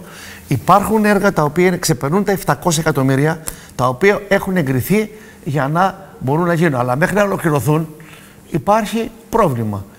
Να ελπίσουμε- Ρωτάμε εδώ πέρα για το φράγμα στο Βατόλακο, αν μπορεί λέει, να επιδιορθωθεί. Αυτό πρέπει να δούμε τη μελέτη. Τι λέει για να. Τι δεν το γνωριζω Ε, πρέπει να δούμε τη μελέτη πόσο, πώς μπορεί να γίνει για, και τι, τι κόστος θα έχει. Πάντως βλέπω εδώ πέρα ότι υπάρχει μια γενικότερη ανησυχία. Ε, λέει εδώ ένας τηλεθεατής από κάποιο χωριό της Λαγκάδας ότι η περιφέρεια Κρήτης λέει και οι φορείς έχουν κάνει την αυτοκριτική τους για το πόσο αποτελεσματικό θα μπορούσε να ήταν το φράγμα από Σελέμη που σε μια δύσκολη στιγμή φαίνεται ότι δεν μπορεί να καλύψει τις ανάγκες της Κρήτης. Ναι, αυτό το βρήκαμε. Δεν, μπορούσα- δεν μπορώ να πω κάτι ότι γιατί έγινε. Όμως είδαμε πόσα χρόνια τι αναγκαιότητα είχε και εδώ υπάρχουν και άλλες λύσεις που δεν θέλω να ε, πρέπει να τις συζητήσουμε ε, και με τους Δήμους γιατί ήδη πρέπει να σας πω ότι εγκρίθηκαν 20 εκατομμύρια για να γίνει προς Άγιο Νικόλαο το δίκτυο ε, Ελούντα Πλάκα ε, από το φράγμα του Αποσελέμη. Παίρνει το Ηράκλειο, ε, παίρνει Χερσόνησο, στα Μάλια, όλες οι Λέει εδώ τουριστικές τηλεθεατής για περιοχές. την Ιερά Πέτρα ότι. Είμαστε, λέει ένας τηλεθεατής για την Ιερά Πέτρα ότι είναι λέει, η πιο άνυδρη πόλη και αυτή τη στιγμή αντιμετωπίζει και το σοβαρότερο πρόβλημα και λόγω των κυπευτικών. Ναι, έχουν όμως εγκριθεί ε, χρήματα τα οποία τώρα είναι η εργολαβία έχει πάρει για το φράγ Μπραμιανών, έχει χρηματοδοτηθεί και ε, μεγάλη χρηματοδότηση. Λοιπόν, εδώ λέει ένας τηλεθεατής, ε, ε, έχει ε, ολοκληρωθεί η οριοθέτηση του Αρκαδιώτη ποταμού στο Ρέθινο, περιοχή Σταυρωμένου. Εκεί λέει που κατασκευάστηκε μια νέα γέφυρα λόγω καταστροφής από πλημμυρικά φαινόμενα το 2020. Θα γίνουν αντιπλημμυρικά έργα που προβλέπονται από την οριοθέτηση ώστε να προστατευτούν το δημοτικό σχολείο και τα δύο νηπιαγωγεία που είναι χτισμένα δίπλα στο ποτάμι. Ναι, θα υποβάλουμε την πρόταση για χρηματοδότηση ε, στο αρμόδιο Υπουργείο.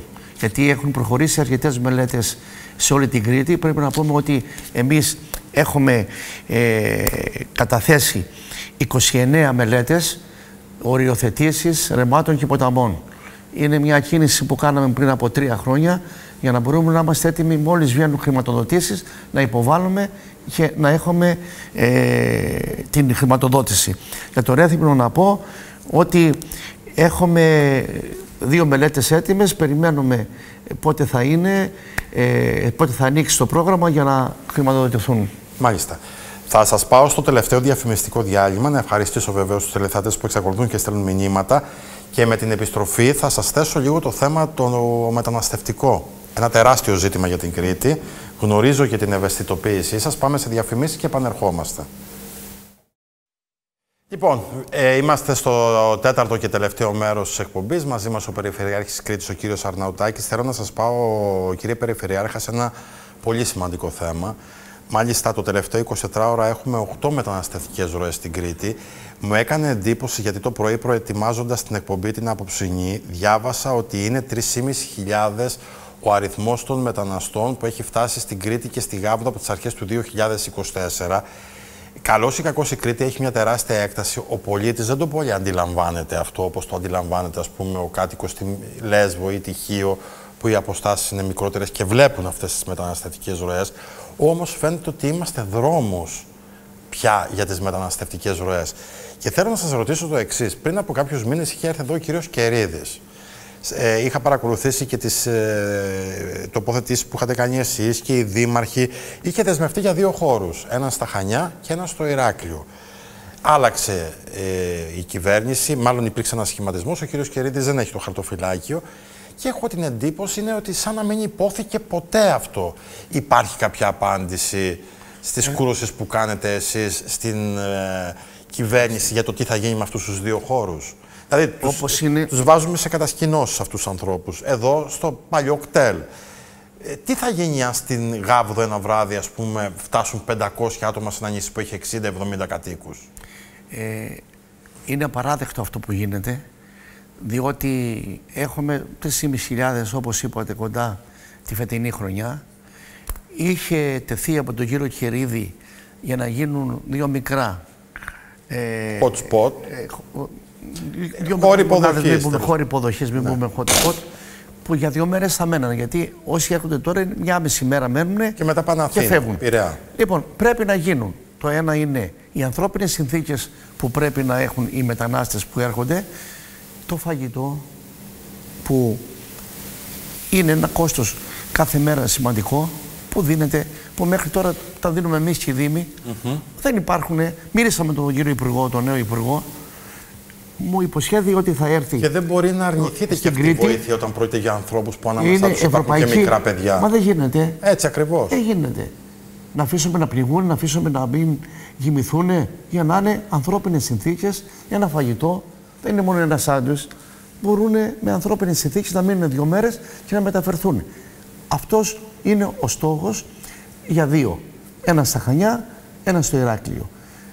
Έφυγε ο Υπουργός, ήρθε ο καινούριος, μίλησα μαζί του, μου υποσχέθη ότι θα έρθεις στην Κρήτη για να λυθεί. Δεν μπορούμε όμως να συνεχίζεται άλλο. Γιατί είναι όμως απαράδεκτο. αυτή η κολυσιεργία και από την πλευρά της κυβέρνησης, γιατί πρέπει να έρθει ο Υπουργός να δει. Ξέρετε κάτι, αυτό που λέει ο πολίτης, ότι σε αυτή την πολιτεία δεν υπήρξε ποτέ συνέχεια. Ήταν ο κύριος Κεριδής υπουργός της κυβέρνησης της Νέας Δημοκρατίας. Έφυγε για κάποιους λόγους από το συγκεκριμένο χαρτοφυλάκιο. Σημαίνει ότι ο επόμενος συνεχίζει αυτή τη δέσμευση. Είναι μια κυβερνητική πολιτική αυτό, έτσι δεν είναι; Μα είναι η μόνη λύση αυτή που υπόθηκε τότε, ενώ είχαμε ζητήσει, μάλιστα έγινε και μια συζήτηση για να ξεβρεθούν οι χώροι, αν υπάρχει από πλευράς του Υπουργείου Εθνικής Άμυνας για να βρεθούν κάποιοι χώροι που να είναι έτοιμοι και άμεσα να δοθούν οι πόροι που είναι ευρωπαϊκοί και να μην, πληρώνει, να μην πληρώνουν οι εθνικοί πόροι των Δήμων ή της Περιφέρειας. Έχω μιλήσει με τον κύριο Υπουργό, μου υπεσχέθη ότι θα έρθει, περιμένουμε. Γι' αυτό σας λέω, σας είπα στο ξεκίνημα ότι είναι μεγάλη η απόσταση της Αθήνας με την περιφέρεια. Ακριβώς. Και, Και σε αυτό- μεγαλώνει. σε είναι αυτό κρίμα. Δεν είναι δυστυχώς σωστό. μεγαλώνει. Είναι λάθος. Αυτό το βλέπουμε Αυτή η καθημερινά. τακτική είναι λάθος σε όλα τα θέματα. Ε, τι θα γίνει, δηλαδή τώρα έρχεται χειμώνας. Έχουμε δει πάρα πολλές φορές ότι η ακριτική γάβδο μπορεί να αποκλειστεί λόγω των καιρικών φαινομένων. Είχαμε από πάει την Κρήτη. στη Γάβδο. Ναι. Τι θα γίνει όμως αν ένα τον βράδυ κύριο ας Κερίδη. πούμε, φτάσουν στη Γάβδο 200-300 άνθρωποι οι οποίοι είναι ταλαιπωρημένοι, είναι πεινασμένοι, είναι θυμωμένοι. Είναι άνθρωποι που έχουν βιώσει έναν απίστευτο γολγοθά από τις χώρες τους και ψάχνουν μια καλύτερη ζωή. Γι' αυτό και ζητούμε- πάνε σε ένα κριτικό νησί 60 ανθρώπων. Γι' αυτό ζητούμε να γίνουν οι δύο χώροι αυτοί για να γίνει η μεταφορά άμεσα στην Αθήνα. Δεν πρέπει όμως να υπάρξει και μια υποδομή στη Γάβδο, στοιχειώδης, που θα μπορούσε, σε αυτό που λέω τώρα, ε, σε ένα απαγορευτικό ας πούμε, σε ένα αποκλεισμό της Γάβδο από την Κρήτη. Δεν έχει τη δυνατότητα κάθε μέρα να συνδέεται και λόγω των καιρικών Νομίζω φαινομένων το ότι χειμώνα. για λόγους άλλους δεν μπορεί να είναι στη Γάβδο, πρέπει να είναι αλλού. Μμ. Να είναι αλλού. Να είναι αλλού. Είστε αισιόδοξος για την επίλυση αυτού του ζητήματος, ε, κύριε Περιφερειάρχα; Εντάξει, Μέχρι να το δούμε, διεκδικούμε. Ε, θα, σύντομα θα έχω μια επικοινωνία με τον κύριο Υπουργό τον νέο. Ε, μάλιστα το έθεσα και στον κύριο Υφυπουργό που ήρθε εμπορι... ε, ναυτιλίας, ε, που είχε έρθει στο γραφείο. Μιλήσαμε όλοι, περιμέναμε την απάντηση. Ε, υπάρχουν αυτή τη στιγμή στις σκέψεις της Περιφέρειας Κρήτης, κύριε Αρναουτάκη, δύο χώροι που θα μπορούσαν να προταθούν. Ε, φαντάζομαι έχετε μπει στη διαδικασία να κάνετε ένα, μια έρευνα χωροθέτησης. Πού θα μπορούσε να υπήρξαν αυτοί οι χώροι; Δηλαδή, θα μπορούσε, να το πω πολύ απλά, τώρα ουσιαστικά το λιμάνι του Ηρακλείου έχει παραχωρηθεί στον Όμιλο Γκριμάλντι. Θα μπορούσε ο, ο χώρος του Προϊκτέλ να αποκτήσει μια υποδομή που θα μπορούσε να καλύψει τις ανάγκες; Για να Δεν- καλύψει ανάγκες. Δεν νομίζω ότι είναι αυτός ο Δύσκολο. χώρος, ότι ούτε είναι ε, σωστό μέσα σε πόλεις να έρχεται αυτός ο κόσμος, γιατί δεν ξέρουμε τι μπορεί να γίνει. Πρέπει να είναι ε, το μέρος να φυλάσσεται, να είναι ασφαλές και για να μπορεί να είναι. Μπορεί να υπάρχουν κάποια στρατόπεδα κάπου που να μπορούν να δοθούν άμεσα. Έχετε και να- προτάσεις, Ε, θέλετε να μας τις αυτό- πείτε ποιες είναι Αυτό αυτές το τις έχει στο προτάσεις; Υπουργείο Εθνικής Άμυνας. Ε, Μην το πω Υπουργείο εγώ, Εθνικής μην πω Άμυνας. εγώ σε μια τέτοια λογική. Δεν Θα είναι μπορούσε, σωστό. ας πούμε, εδώ πέρα οι αποθήκες της ΜΟΜΑ, ε, της Δεν- πρώην δεν- ΜΟΜΑ να γίνουν δεν- δεν- υποδομή Δεν μπορώ τέτοια; να πω, δεν γνωρίζω. Είναι απόφαση του αρμόδιου υπουργού. Μάλιστα. Ε, ένα τελευταίο ερώτημα που έχει να κάνει με το, να- με το μεταναστευτικό. Θεωρείτε ότι η κυβέρνηση γνωρίζει το μέγεθος του προβλήματος για την Κρήτη; Νομίζω το σε γνωρίζει. σχέση ας πούμε, με τα νησιά του Βορείου Αιγαίου. Το γνωρίζει γιατί και τώρα και με τον πόλεμο που υπάρχει κάτω ε, θα υπάρχουν ροές κι άλλες. Ε, και από Τουρκία και από Λιβύη. Ε, άρα πρέπει να λυθεί το θέμα. Μάλιστα. Κλείνοντας σιγά σιγά αυτή την εκπομπή, θέλω να ανοίξω μια συζήτηση που αφορά την ομάδα του Σταύρου Αρναουτάκη, την ηγετική ομάδα, τους αντιπεριφερειάρχες. Είστε ένας περιφερειάρχης που από την πορεία σας διακρίνεται από μια σταθερότητα στις επιλογές του. Υπάρχει ανανέωση. Όμως οι βασικοί πυλώνες έχουν μια σταθερότητα. Υπάρχουν άνθρωποι που από την αρχή της δικής σας αυτοδιοικητικής πορείας είναι μαζί σας και έχουν ε, κατά καιρούς βρεθεί σε κέρυες θέσεις, κάποιοι εξακολουθούν να είναι. Ε, θυμάμαι ε, προεκλογικά πριν από ένα χρόνο σε αυτήν εδώ την εκπομπή είχατε πει ότι στην επό... σε αυτήν τη θητεία που είναι σε εξέλιξη θα δοκιμάσετε πολλούς ανθρώπους σε ηγετικές θέσεις. Δηλαδή θα διεκδικήσετε ένα μεγάλο μέρος των ανθρώπων που είναι στην ομάδα σας να αναλάβει περισσότερες ευθύνες. Αυτό το έχετε οριοθετήσει χρονικά. Θα μπορούσε δηλαδή μέσα στο 2025 ο Περιφερειάρχης της κριτικής Dream Team, όπως λένε πολλά από τα μέσα μαζικής ενημέρωσης, να κάνει και μία αλλαγή στην ηγετική του ομάδα ή έναν τοπικό ανασχηματισμό; Ε, αυτό που πρέπει να πω ότι ε, έχουμε μια εξαίρετη ομάδα που πραγματικά είμαι υπερήφανος για όλα τα στελέχη που έχουμε στην Ερετή Περιφέρεια γιατί χωρίς αυτούς η ομάδα είναι που κερδίζει. Ε, πραγματικά ο καθένας από τη δική του σκοπιά υπηρετεί το θεσμό της Ερετής Περιφέρειας όσο το δυνατόν καλύτερα. Από εκεί και πέρα ε, δεν είναι για να ανακοινώσω οτιδήποτε. Εσείς για την προηγούμενη φορά θέλατε, βγάλατε ειδήσει, κύριε Μου δώσατε γιατί, είδηση όμως. Γιατί θυμάμαι πάρα πολύ, θυμάμαι πάρα πολύ καλά ακόμα. Ε, για τότε με τους χωρικούς αντιπεριφερειάρχες. Όμως όλα, ό,τι είναι να γίνει, γνωρίζω πολύ καλά και τις ικανότητες του καθενός. Εδώ αυτό που είναι το πρόβλημα είναι ότι έχουμε ικανούς σε όλο το Περιφερειακό Συμβούλιο που θα αξιοποιηθούν.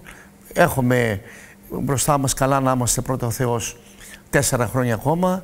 Θα έχουμε λοιπόν την καλύτερη δυνατότητα να αξιοποιηθούν όλοι οι άνθρωποι. Είστε το ίδιο ικανοποιημένος από τους ανθρώπους, τους συνεργάτες σας που αυτή τη στιγμή ασκούν ένα συγκεκριμένο, μάλλον υπηρετούν, το ασκούν δεν μου αρέσει, υπηρετούν ένα συγκεκριμένο αυτοδιοικητικό χαρτοφυλάκιο. Δηλαδή, θα το, θα το πω πολύ απλά. Στις ε, κυβερνήσεις, στις εθνικές κυβερνήσεις, αν ένας υπουργός δεν πάει καλά, βλέπουμε ανασχηματισμούς. Το έχουμε δει. Μάλιστα, το ελληνικό πολιτικό σύστημα αρέσχεται στους ε, ε, ανασχηματισμούς, χωρίς να βλέπουμε βεβαίως κάποια διαφοροποίηση και δεν αναφέρομαι μόνο στο τώρα, διαχρονικά. Ε, εσείς Είστε έτοιμος να, βάλει το μαχαίρι, να βάλετε το μαχαίρι στο κόκαλο εάν χρειαστεί; Αξιολογούμαστε όλοι καθημερινά. Δηλαδή είπατε ότι δεν σας αρέσουν οι αλαζονικές συμπεριφορές. Ακριβώς. Είναι... Θεωρείτε ότι υπάρχουν αυτή τη στιγμή άνθρωποι στην ηγετική σας ομάδα που δεν έχουν αλαζονικές συμπεριφορές; Όχι, δεν έχω διαπιστώσει ότι υπάρχουν προς Θεού. Είναι, είναι πάρα πολύ καλή ομάδα. Έχουμε μια εξαίρετη συνεργασία με όλους σου και βασικά ε, με τους χωρικούς αντιπεριφερειάσεις και τους υπόλοιπους αντιπεριφερειάσεις, τους εντεταλμένους. Όλοι, ο καθένας από τη δική του πλευρά προσπαθεί γιατί όταν έχουμε τόσα άτομα στο Περιφερειακό Συμβούλιο με ένα τόσο ποσοστό που έχουμε εκλεγεί, έχουμε ευθύνη απέναντι στον κόσμο να έχουμε το καλύτερο. Δεν μπορούμε να λέμε οποιαδήποτε αλαζονία να περάσει. Πρέπει να είμαστε όσο το δυνατόν δίπλα στον κόσμο, είμαστε δίπλα στον κόσμο Πρέπει να σας πω ότι αυτό το διαπιστώνουμε σε όλη την Κρήτη. Θέλουμε ε, να μην υπάρχουν ούτε συμπεριφορές οι οποίες να προσβάλλουν το θεσμό της αιρετής περιφέρειας, τον καθένα. Ο καθένας αξιολογείται. Και βασικά όλοι μας δίνουμε τη μάχη καθημερινά, τη διεκδίκηση από την κεντρική εξουσία και είδατε ότι όλη μου η συζήτηση και όλη η συζήτηση απόψε κύριε Δασκαλάκη είναι η διεκδίκηση. Εδώ είμαστε ανεξάρτητα που ανήκει ο καθένας, γιατί είμαστε μέσα στο Περιφερειακό Συμβούλιο από διάφορους χώρους, αλλά, αλλά είναι έξω από την περιφέρεια η κομματική ταυτότητα του καθένα. Μέσα είμαστε για όλη την Κρήτη, για όλους τους πολίτες της Κρήτης και να διεκδικούμε. Και έχει ευθύνη η κάθε κυβέρνηση να μπορεί να δώσει αυτά τα καθημερινά που χρειάζεται ο κόσμος. Γιατί χρειάζεται η καθημερινότητα. Αυτό πρέπει να δει η κεντρική εξουσία, να μπορούμε να έχουμε αυτές τις χρηματοδοτήσεις, να μπορούμε να διαχειριζόμαστε όσο το δυνατόν καλύτερα, να μπορούμε να έχουμε την προετοιμασία των μελετών. Αλλά μην προετοιμάζουμε μελέτες και μετά από δύο χρόνια έχετε μια άλλη κυβέρνηση και αλλάζει όλο αυτό το σχεδιασμό. Δηλαδή, είναι λάθος. Μου αποκλείεται αυτή τη στιγμή ότι ε, θα πάτε μέχρι το τέλος της θητείας με την ίδια ηγετική ομάδα ή θα κάνετε και κάποιες παρεμβάσεις στη διάρκεια αυτής της θητείας; Μέχρι τέλος της θητείας, δηλαδή από τώρα θα πούμε πέντε χρόνια. Ναι, πέντε που είναι ότι ε, έχουμε εδώ... Θεωρείτε ότι είναι πολύ νωρίς ακόμα είναι για να βγουν ακόμα, συμπεράσματα. Είναι νωρίς ακόμα, mm -hmm. είναι νωρίς. Είδατε, σας βοηθάω τώρα. ε, είναι νωρίς να είμαστε καλά και όλα ό,τι είναι να γίνει γίνεται στην ώρα του. Πάντως ε, σε αυτό το κομμάτι ε, οφείλω να σας αναγνωρίσω ότι και σας τιμά αυτό, οφείλω να το πω, ότι σέβεστε τους ανθρώπους που είναι μαζί σας, σέβεστε τους ανθρώπους που από κοινού αγωνίζεστε για την Κρήτη. Και επειδή σε δύο-τρεις μήνες μπαίνουμε σε ένα νέο έτος, το 2025, βεβαίως θέλω να πιστεύω ότι θα τα ξαναπούμε τηλεοπτικά μέσα σε αυτή τη σεζόν. Για το 2025, ποιες θα είναι οι προτεραιότητες του Περιφερειάρχη Κρήτης, δηλαδή τι είναι αυτό που θεωρεί ότι στο 2025 μέσα πρέπει να έχει κλείσει ως στίχημα για τον Σταύρο Αρναουτάκη; Είναι να ανοίξει. Είναι να ανοίξει, σωστά. Να ανοίξει, γιατί είναι η διεκδίκηση των πόρων από το πρόγραμμα δημοσίων επενδύσεων και επίσης από ανταγωνιστικά προγράμματα ε, που υπάρχουν, από τομεακά προγράμματα των Υπουργείων, που η Κρήτη δεν μπορεί να είναι απ' έξω. Πρέπει η Αθήνα να το καταλάβει ότι αυτά τα έργα τα οποία εμείς έχουμε προετοιμάσει και είμαστε πανέτοιμοι πρέπει να δώσουν τις χρηματοδοτήσεις. Γιατί χωρίς τις χρηματοδοτήσεις ε, δεν μπορούμε να προχωρήσουμε ή χωρίς τις μελέτες. Εμείς είμαστε πανέτοιμοι από τη στιγμή που βγει οποιοδήποτε πρόγραμμα να υποβάλλουμε. Αλλά να μην αλλάζει η τακτική από τα συναρμόδια Υπουργεία για κάτι που έχουμε προγραμματίσει. Ε, επειδή πάντοτε μου αρέσει στις συνεντεύξεις της, ε, εδώ στην εκπομπή στην ώρα εχμής, έτσι στο τελευταίο δεκάλεπτο να σας πηγαίνω σε πιο χαλαρούς ρυθμούς, γιατί πάρα πολλοί άνθρωποι, ε, άντρες και γυναίκες εδώ στην Κρήτη, γνωρίζουν όλη την πορεία του Περιφερειάρχη. Σας έχει επιβραβεύσει η Κρήτη πάρα πολλές φορές με τεράστια ποσοστά και αυτό το αναγνωρίζετε και το γνωρίζω, είστε ένας αικίνητος άνθρωπος. Δηλαδή, μπορεί, η Κρήτη είναι και μεγάλη, δεν είναι μικρές οι αποστάσεις και ειδικά έχετε και την εμπειρία αυτού του οδικού δικτύου, πόσο πιο δύσκολο είναι να πάτε από το Ηράκλειο στα Χανιά, ενώ η ίδια απόσταση σε μια άλλη περιοχή της Ελλάδος θα ήταν στο ίμιση χρονικά. Ε, τι είναι αυτό που σκέφτεται ο Σταύρος Αρναουτάκης όταν βρίσκεται σε περιοχές της Κρήτης. Δηλαδή, τι παρατηρεί πηγαίνοντας από το Ηράκλειο στα Χανιά. Τι είναι αυτό που σας θλίβει, τι είναι αυτό που σας χαροποιεί, τι είναι αυτό που ενδεχομένως σας χαλαρώνει κιόλας; Να πω κάτι. Καταρχήν είναι η άριστη συνεργασία με όλους τους Δήμους της Κρήτης και τους Δημάρχους. Που να πω ότι αυτή η συνεργασία ίσως να μην υπάρχει πουθενά στην Ελλάδα μεταξύ ερετής περιφέρει πρώτου και δεύτερου βαθμού έχουμε και μαζί διεκδικούμε, γιατί θέλουμε να γίνουν τα έργα και στο μικρότερο χωριό. Πρέπει να βρούμε τους σπόρους για να γίνει ένα μικρό έργο. Πρέπει να βρούμε τους σπόρους για να γίνει ένα μεγάλο έργο το οποίο εντάσσεται στο ΕΣΠΑ. Ε, να πούμε ότι ε, ένα παράδειγμα. Την Πέμπτη, ε, αυτή τη βδομάδα, γίνεται το έργο, το καταδυτικό πάρκο στον Αποκόρονα. Με χρηματοδότηση της περιφέρειας. Είναι ένα από τα καλύτερα που θα είναι στην Ελλάδα. Συνεννοηθήκαμε τον Δήμαρχο να κάνουμε μια επίσκεψη. Όταν ολοκληρώνουμε το βιολογικό στην Παλιόχώρα, που ένας τουριστικός προορισμός δεν έχει βιολογικό, όταν ολοκληρώναμε στη Γεωργιούπολη το βιολογικό, όταν ξεκινήσαμε στο μακρύ γυαλό το βιολογικό, λέω σε τουριστικές περιοχές που είναι φιλοπεριβαλλοντικά έργα, πρώτα για τους κατοίκους και μετά για τους ε, τουρίστες, να δούμε όλα αυτά είναι μια ικανοποίηση ότι μαζί με όλους τους Δήμους προχωρούμε για να κάνουμε τα έργα αυτά υποδομής που χρειάζονται. Να κάνουμε τα έργα για τους αγρότες. Να κάνουμε τα έργα μικρά εγκυβελτικά μέχρι 2 εκατομμύρια. Αυτούς τους σπόρους που έχουμε να δούμε πώς θα αξιοποιηθούν ή αυτά που διεκδικήσουμε από το συναρμόδιο Υπουργείο. Βεβαίως με λυπεί όταν θέλουμε δύο και δυόμιση ώρες να πάμε από το Ηράκλειο στα Χανιά ή στην Κίσαμο. Δεν είναι δυνατόν να μην έχουμε τις ίδιες προϋποθέσεις που έχει ένας κάτοικος στην άλλη Ελλάδα που πηγαίνει τόσο σύντομα. Και δεν είναι μόνο το χρονικό, κύριε Δασκαλάκη, είναι η ασφάλεια. Να είναι ένα ασφαλές οδικό δίκτυο που να μπορούμε και να πω ότι ο κόσμος έχει απόλυτο δίκιο σε όλα τα αιτήματα που έβαλε. Πραγματικά αυτά όλα έχει απόλυτο δίκιο. Πρέπει να βελτιωθεί πρέπει ό,τι μπορούμε και εμείς από την πλευρά τη δική μας να βελτιώσουμε. Σας λέω ότι αυτή τη στιγμή που γίνονται αυτά τα έργα των 40, 50, 60 εκατομμυρίων είναι ελάχιστα. Όταν χρειάζεται πάνω από 400 εκατομμύρια για να έχει ένα επαρχιακό δίκτυο. Αλλά στο ΒΟΑΚ θα γίνει τώρα ένα έργο κοντά στα 30 εκατομμύρια οδικής ασφάλειας μέχρι να γίνει το μεγάλο. 30-35. Ε, Κλείνοντας, θέλω να σας ρωτήσω το εξής, κύριε Αρναουτάκη. Ε, γνωρίζω ότι έχετε μια πολύ μεγάλη αγάπη για την Κρήτη και ομολογώ ότι είστε και ένας από τους περιφερειάρχες που είναι ιδιαίτερα γνωστός και στην υπόλοιπη Ελλάδα. Έχετε πολλές θητείες. Ε, θυμάμαι, ας πούμε, σε βραδιές αυτοδιοικητικών εκλογών, ε, κανένας συνάδελφος από τα Αθηναϊκά Μέσα δεν εξέφρασε την ε, έκπληξή του ότι ο Σταύρος Αρναουτάκης είναι ξανά ο Περιφερειάρχης της Κρήτης. Θεωρείτε ότι σε αυτήν τη θητεία μπορείτε να βλέπετε και την επόμενη μέρα πολιτικά του Σταύρου Αρναουτάκη. Είστε ένα πολιτικό και κακά τα ψέματα, όλοι οι άνθρωποι που ασχολούνται με την πολιτική, οποιοδήποτε βαθμού, είτε κεντρική πολιτική σκηνή, είτε αυτοδιοικητική, σκέφτονται και την επόμενη μέρα. Σκέφτονται ποιο μπορεί να είναι το επόμενο βήμα. Όχι απαραίτητα από προσωπική φιλοδοξία, αλλά από την ανάγκη της ίδιας της προσφοράς.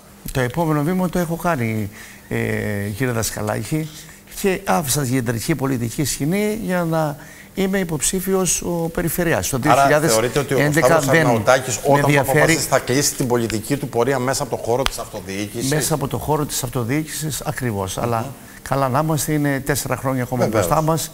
Ε, δεν μπορεί να υποθεί οτιδήποτε. Εδώ αυτό που μας ενδιαφέρει είναι να μπορούμε να προσφέρουμε καθημερινά ε, στους ανθρώπους που θέλουμε να υπηρετήσουμε. Πρέπει όλοι μαζί με τη συλλογικότητα που έχουμε, είμαστε πιο δυνατοί ως ομάδα στην περιφέρεια να μπορούμε να έχουμε το καλύτερο αποτέλεσμα, κύριε Δασκαλάκη. Τώρα θέλω να ξέρετε ότι εμένα οι τηλεθεατές με μαλώνουν και λίγο και με μαλώνουν γιατί εδώ και αρκετή ώρα συνεχίζουν και στέλνουν μηνύματα. Θα με επιτρέψετε πέντε λεπτά από μένα. Πολύ γρήγορες απαντήσεις σε δύο-τρία ερωτήματα που βλέπω ότι υπάρχουν πολύ μεγάλο, υπάρχει πολύ μεγάλο ενδιαφέρον. Λέει εδώ ένας φίλος τηλεθεατής ότι στην, που πολύ κάθε πρωί λέει με τις σχολές, τα γυμνάσια και τα λύκεια, στην οδός και πετζή, υπάρχει κάποιο σχέδιο διαμόρφωσης του χώρου για να μην αναγκάζονται οι μαθητές να κυκλοφορούν μέσα στον δρόμο και οι οδηγοί να κάνουν ελιγμούς για να αποφύγουν τους μαθητές.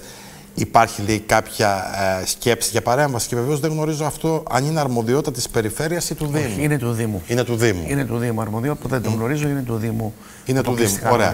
Ναι. Το, ε, πάμε αυτό. Το δεύτερο κομμάτι ρωτάνε από την ε, Ιερά Πετρά ε, με αφορμή και τα πρωτόκολλα κατεδάφισης της αποκεντρωμένη διοίκησης για το ΣΥΣΥ. Υπάρχει κάποια εξέλιξη για το παράκτιο μέτωπο της Ιεράπετρα. Έχουν έρθει πολλά μηνύματα από, ε, ναι, που σχετίζονται με αυτό το θέμα. Είναι ένα θέμα πάρα πολύ σοβαρό αυτό που αναφέρει ο τηλεθεατής σας.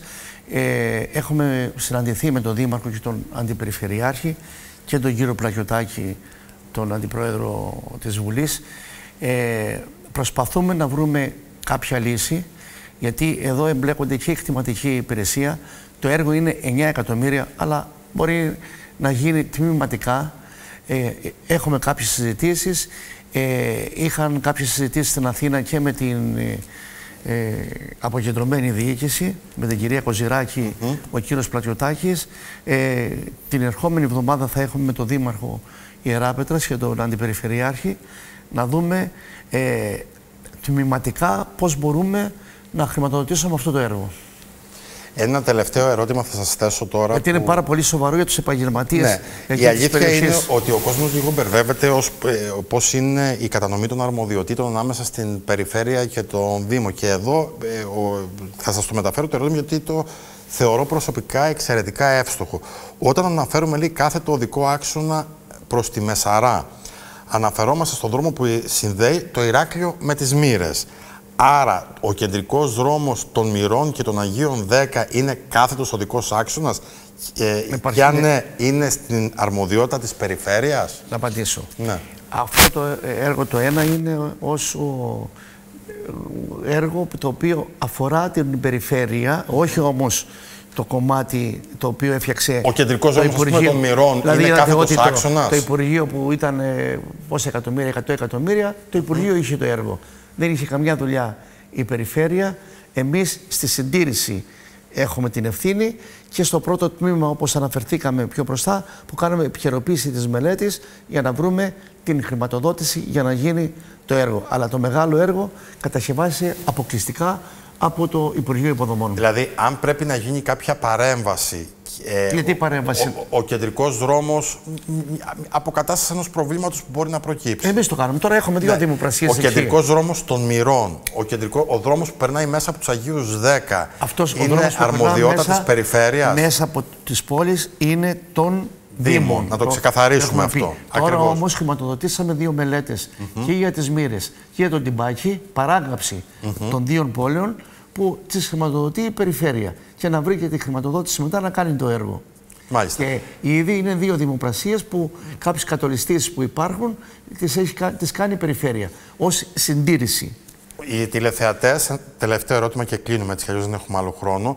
Ε, θέτουν ένα Κάτσε θέμα. μέχρι το πρωί, δεν πειράζει. Όχι, όχι, μπο, μπορώ να το κάνουμε, όχι, άμα... αλλά είναι εξαιρετικά ναι, δύσκολο. Ναι, ε, τελευταίο ερώτημα. Δρόμος Καλανίου, φωτισμός ναι. και επίσης λέει ένας επικίνδυνος δρόμος. Πολύ. Να απαντήσω.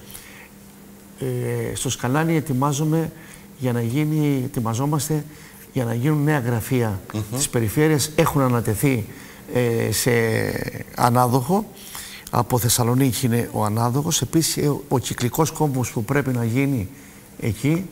Και εκτιμούμε ότι μέσα στο επόμενο πεντάμινο, εξάμινο θα είναι ολοκληρωμένες οι μελέτες ούτως ώστε να κατασκευαστεί το έργο. Και επίσης στον δρόμο αυτό ήδη εντάξαμε στο πρόγραμμα τον κόμβο πεζών που είναι ένα πολύ σημαντικό έργο που βλέπουμε τι γίνεται στα πεζά. Με 6 εκατομμύρια έχει ενταχθεί το έργο αυτό. Και επίσης προετοιμάζουμε μία μελέτη αντίστοιχη αυτή που θα γίνει στο ΒΟΑΚ για το τμήμα από την ε, βιομηχανική περιοχή μέχρι να πάει στον κόμβο των πεζών. Μάλιστα. Κύριε Περιφερειάρχα, σας ευχαριστώ θερμά που ήσασταν εδώ. Σας ευχαριστώ δίπλα που απαντήσατε σε όλες τις ερωτήσεις. Να με συγχωρήσουν τηλεθεατές γιατί είδα, βλέπαμε μαζί στο διάλειμμα και τη ροή των ερωτήσεων και ήταν πραγματικά πολλές και σας ευχαριστώ θερμά. Εγώ δεσμεύομαι ότι θα ξαναέχουμε μαζί μας μετά από κάποιο καιρό τον κύριο Αρναουδάκη. Η αλήθεια είναι ότι είστε τόσο αικίνητος που είναι και εξαιρετικά δύσκολο να έχουμε ένα ραντεβού για να μπορούμε να τα πούμε τηλεοπτικά γιατί πάντοτε υπάρχει μια υποχρέωση που πρέπει να είστε κάπου αλλού. Όχι, Είμαι πάντα. Πάντα. πάντα απλά δεν μπορώ Απλώς, να. Ε, ε, υπάρχουν και οι Ωραία, με, με χαρά. Εγώ να σε ευχαριστήσω τους τηλεθεατές να πω ότι ήταν όλα τα ερωτήματα πάρα πολύ ε, σημαντικά. Ε, πρέπει να καταλάβουν όμως για την αγωνία τη δική μας για την εξέβρεση των πόρων. Γιατί χωρίς πόρους δεν μπορούμε να κάνουμε έργα. Εμείς είμαστε προετοιμασμένοι, θα έχουμε πανέτοιμα από πλευράς μελετών. Όμως η κεντρική εξουσία πρέπει να δει και την αυτοδιοίκηση με διαφορετικό μάτι. Σας ευχαριστώ θερμά. Να είστε καλά, καλή δύναμη σας εύχομαι. Εμείς θα ανανεώσουμε το ραντεβού μας μέσα από την εκπομπή Ωρα Εχμή την ερχόμενη Δευτέρα, όπως κάθε Δευτέρα, ένα τέταρτο πριν τις 10. Ε, Ζωντανά εδώ στην Κρήτη TV. Καλό σας ξημέρωμα.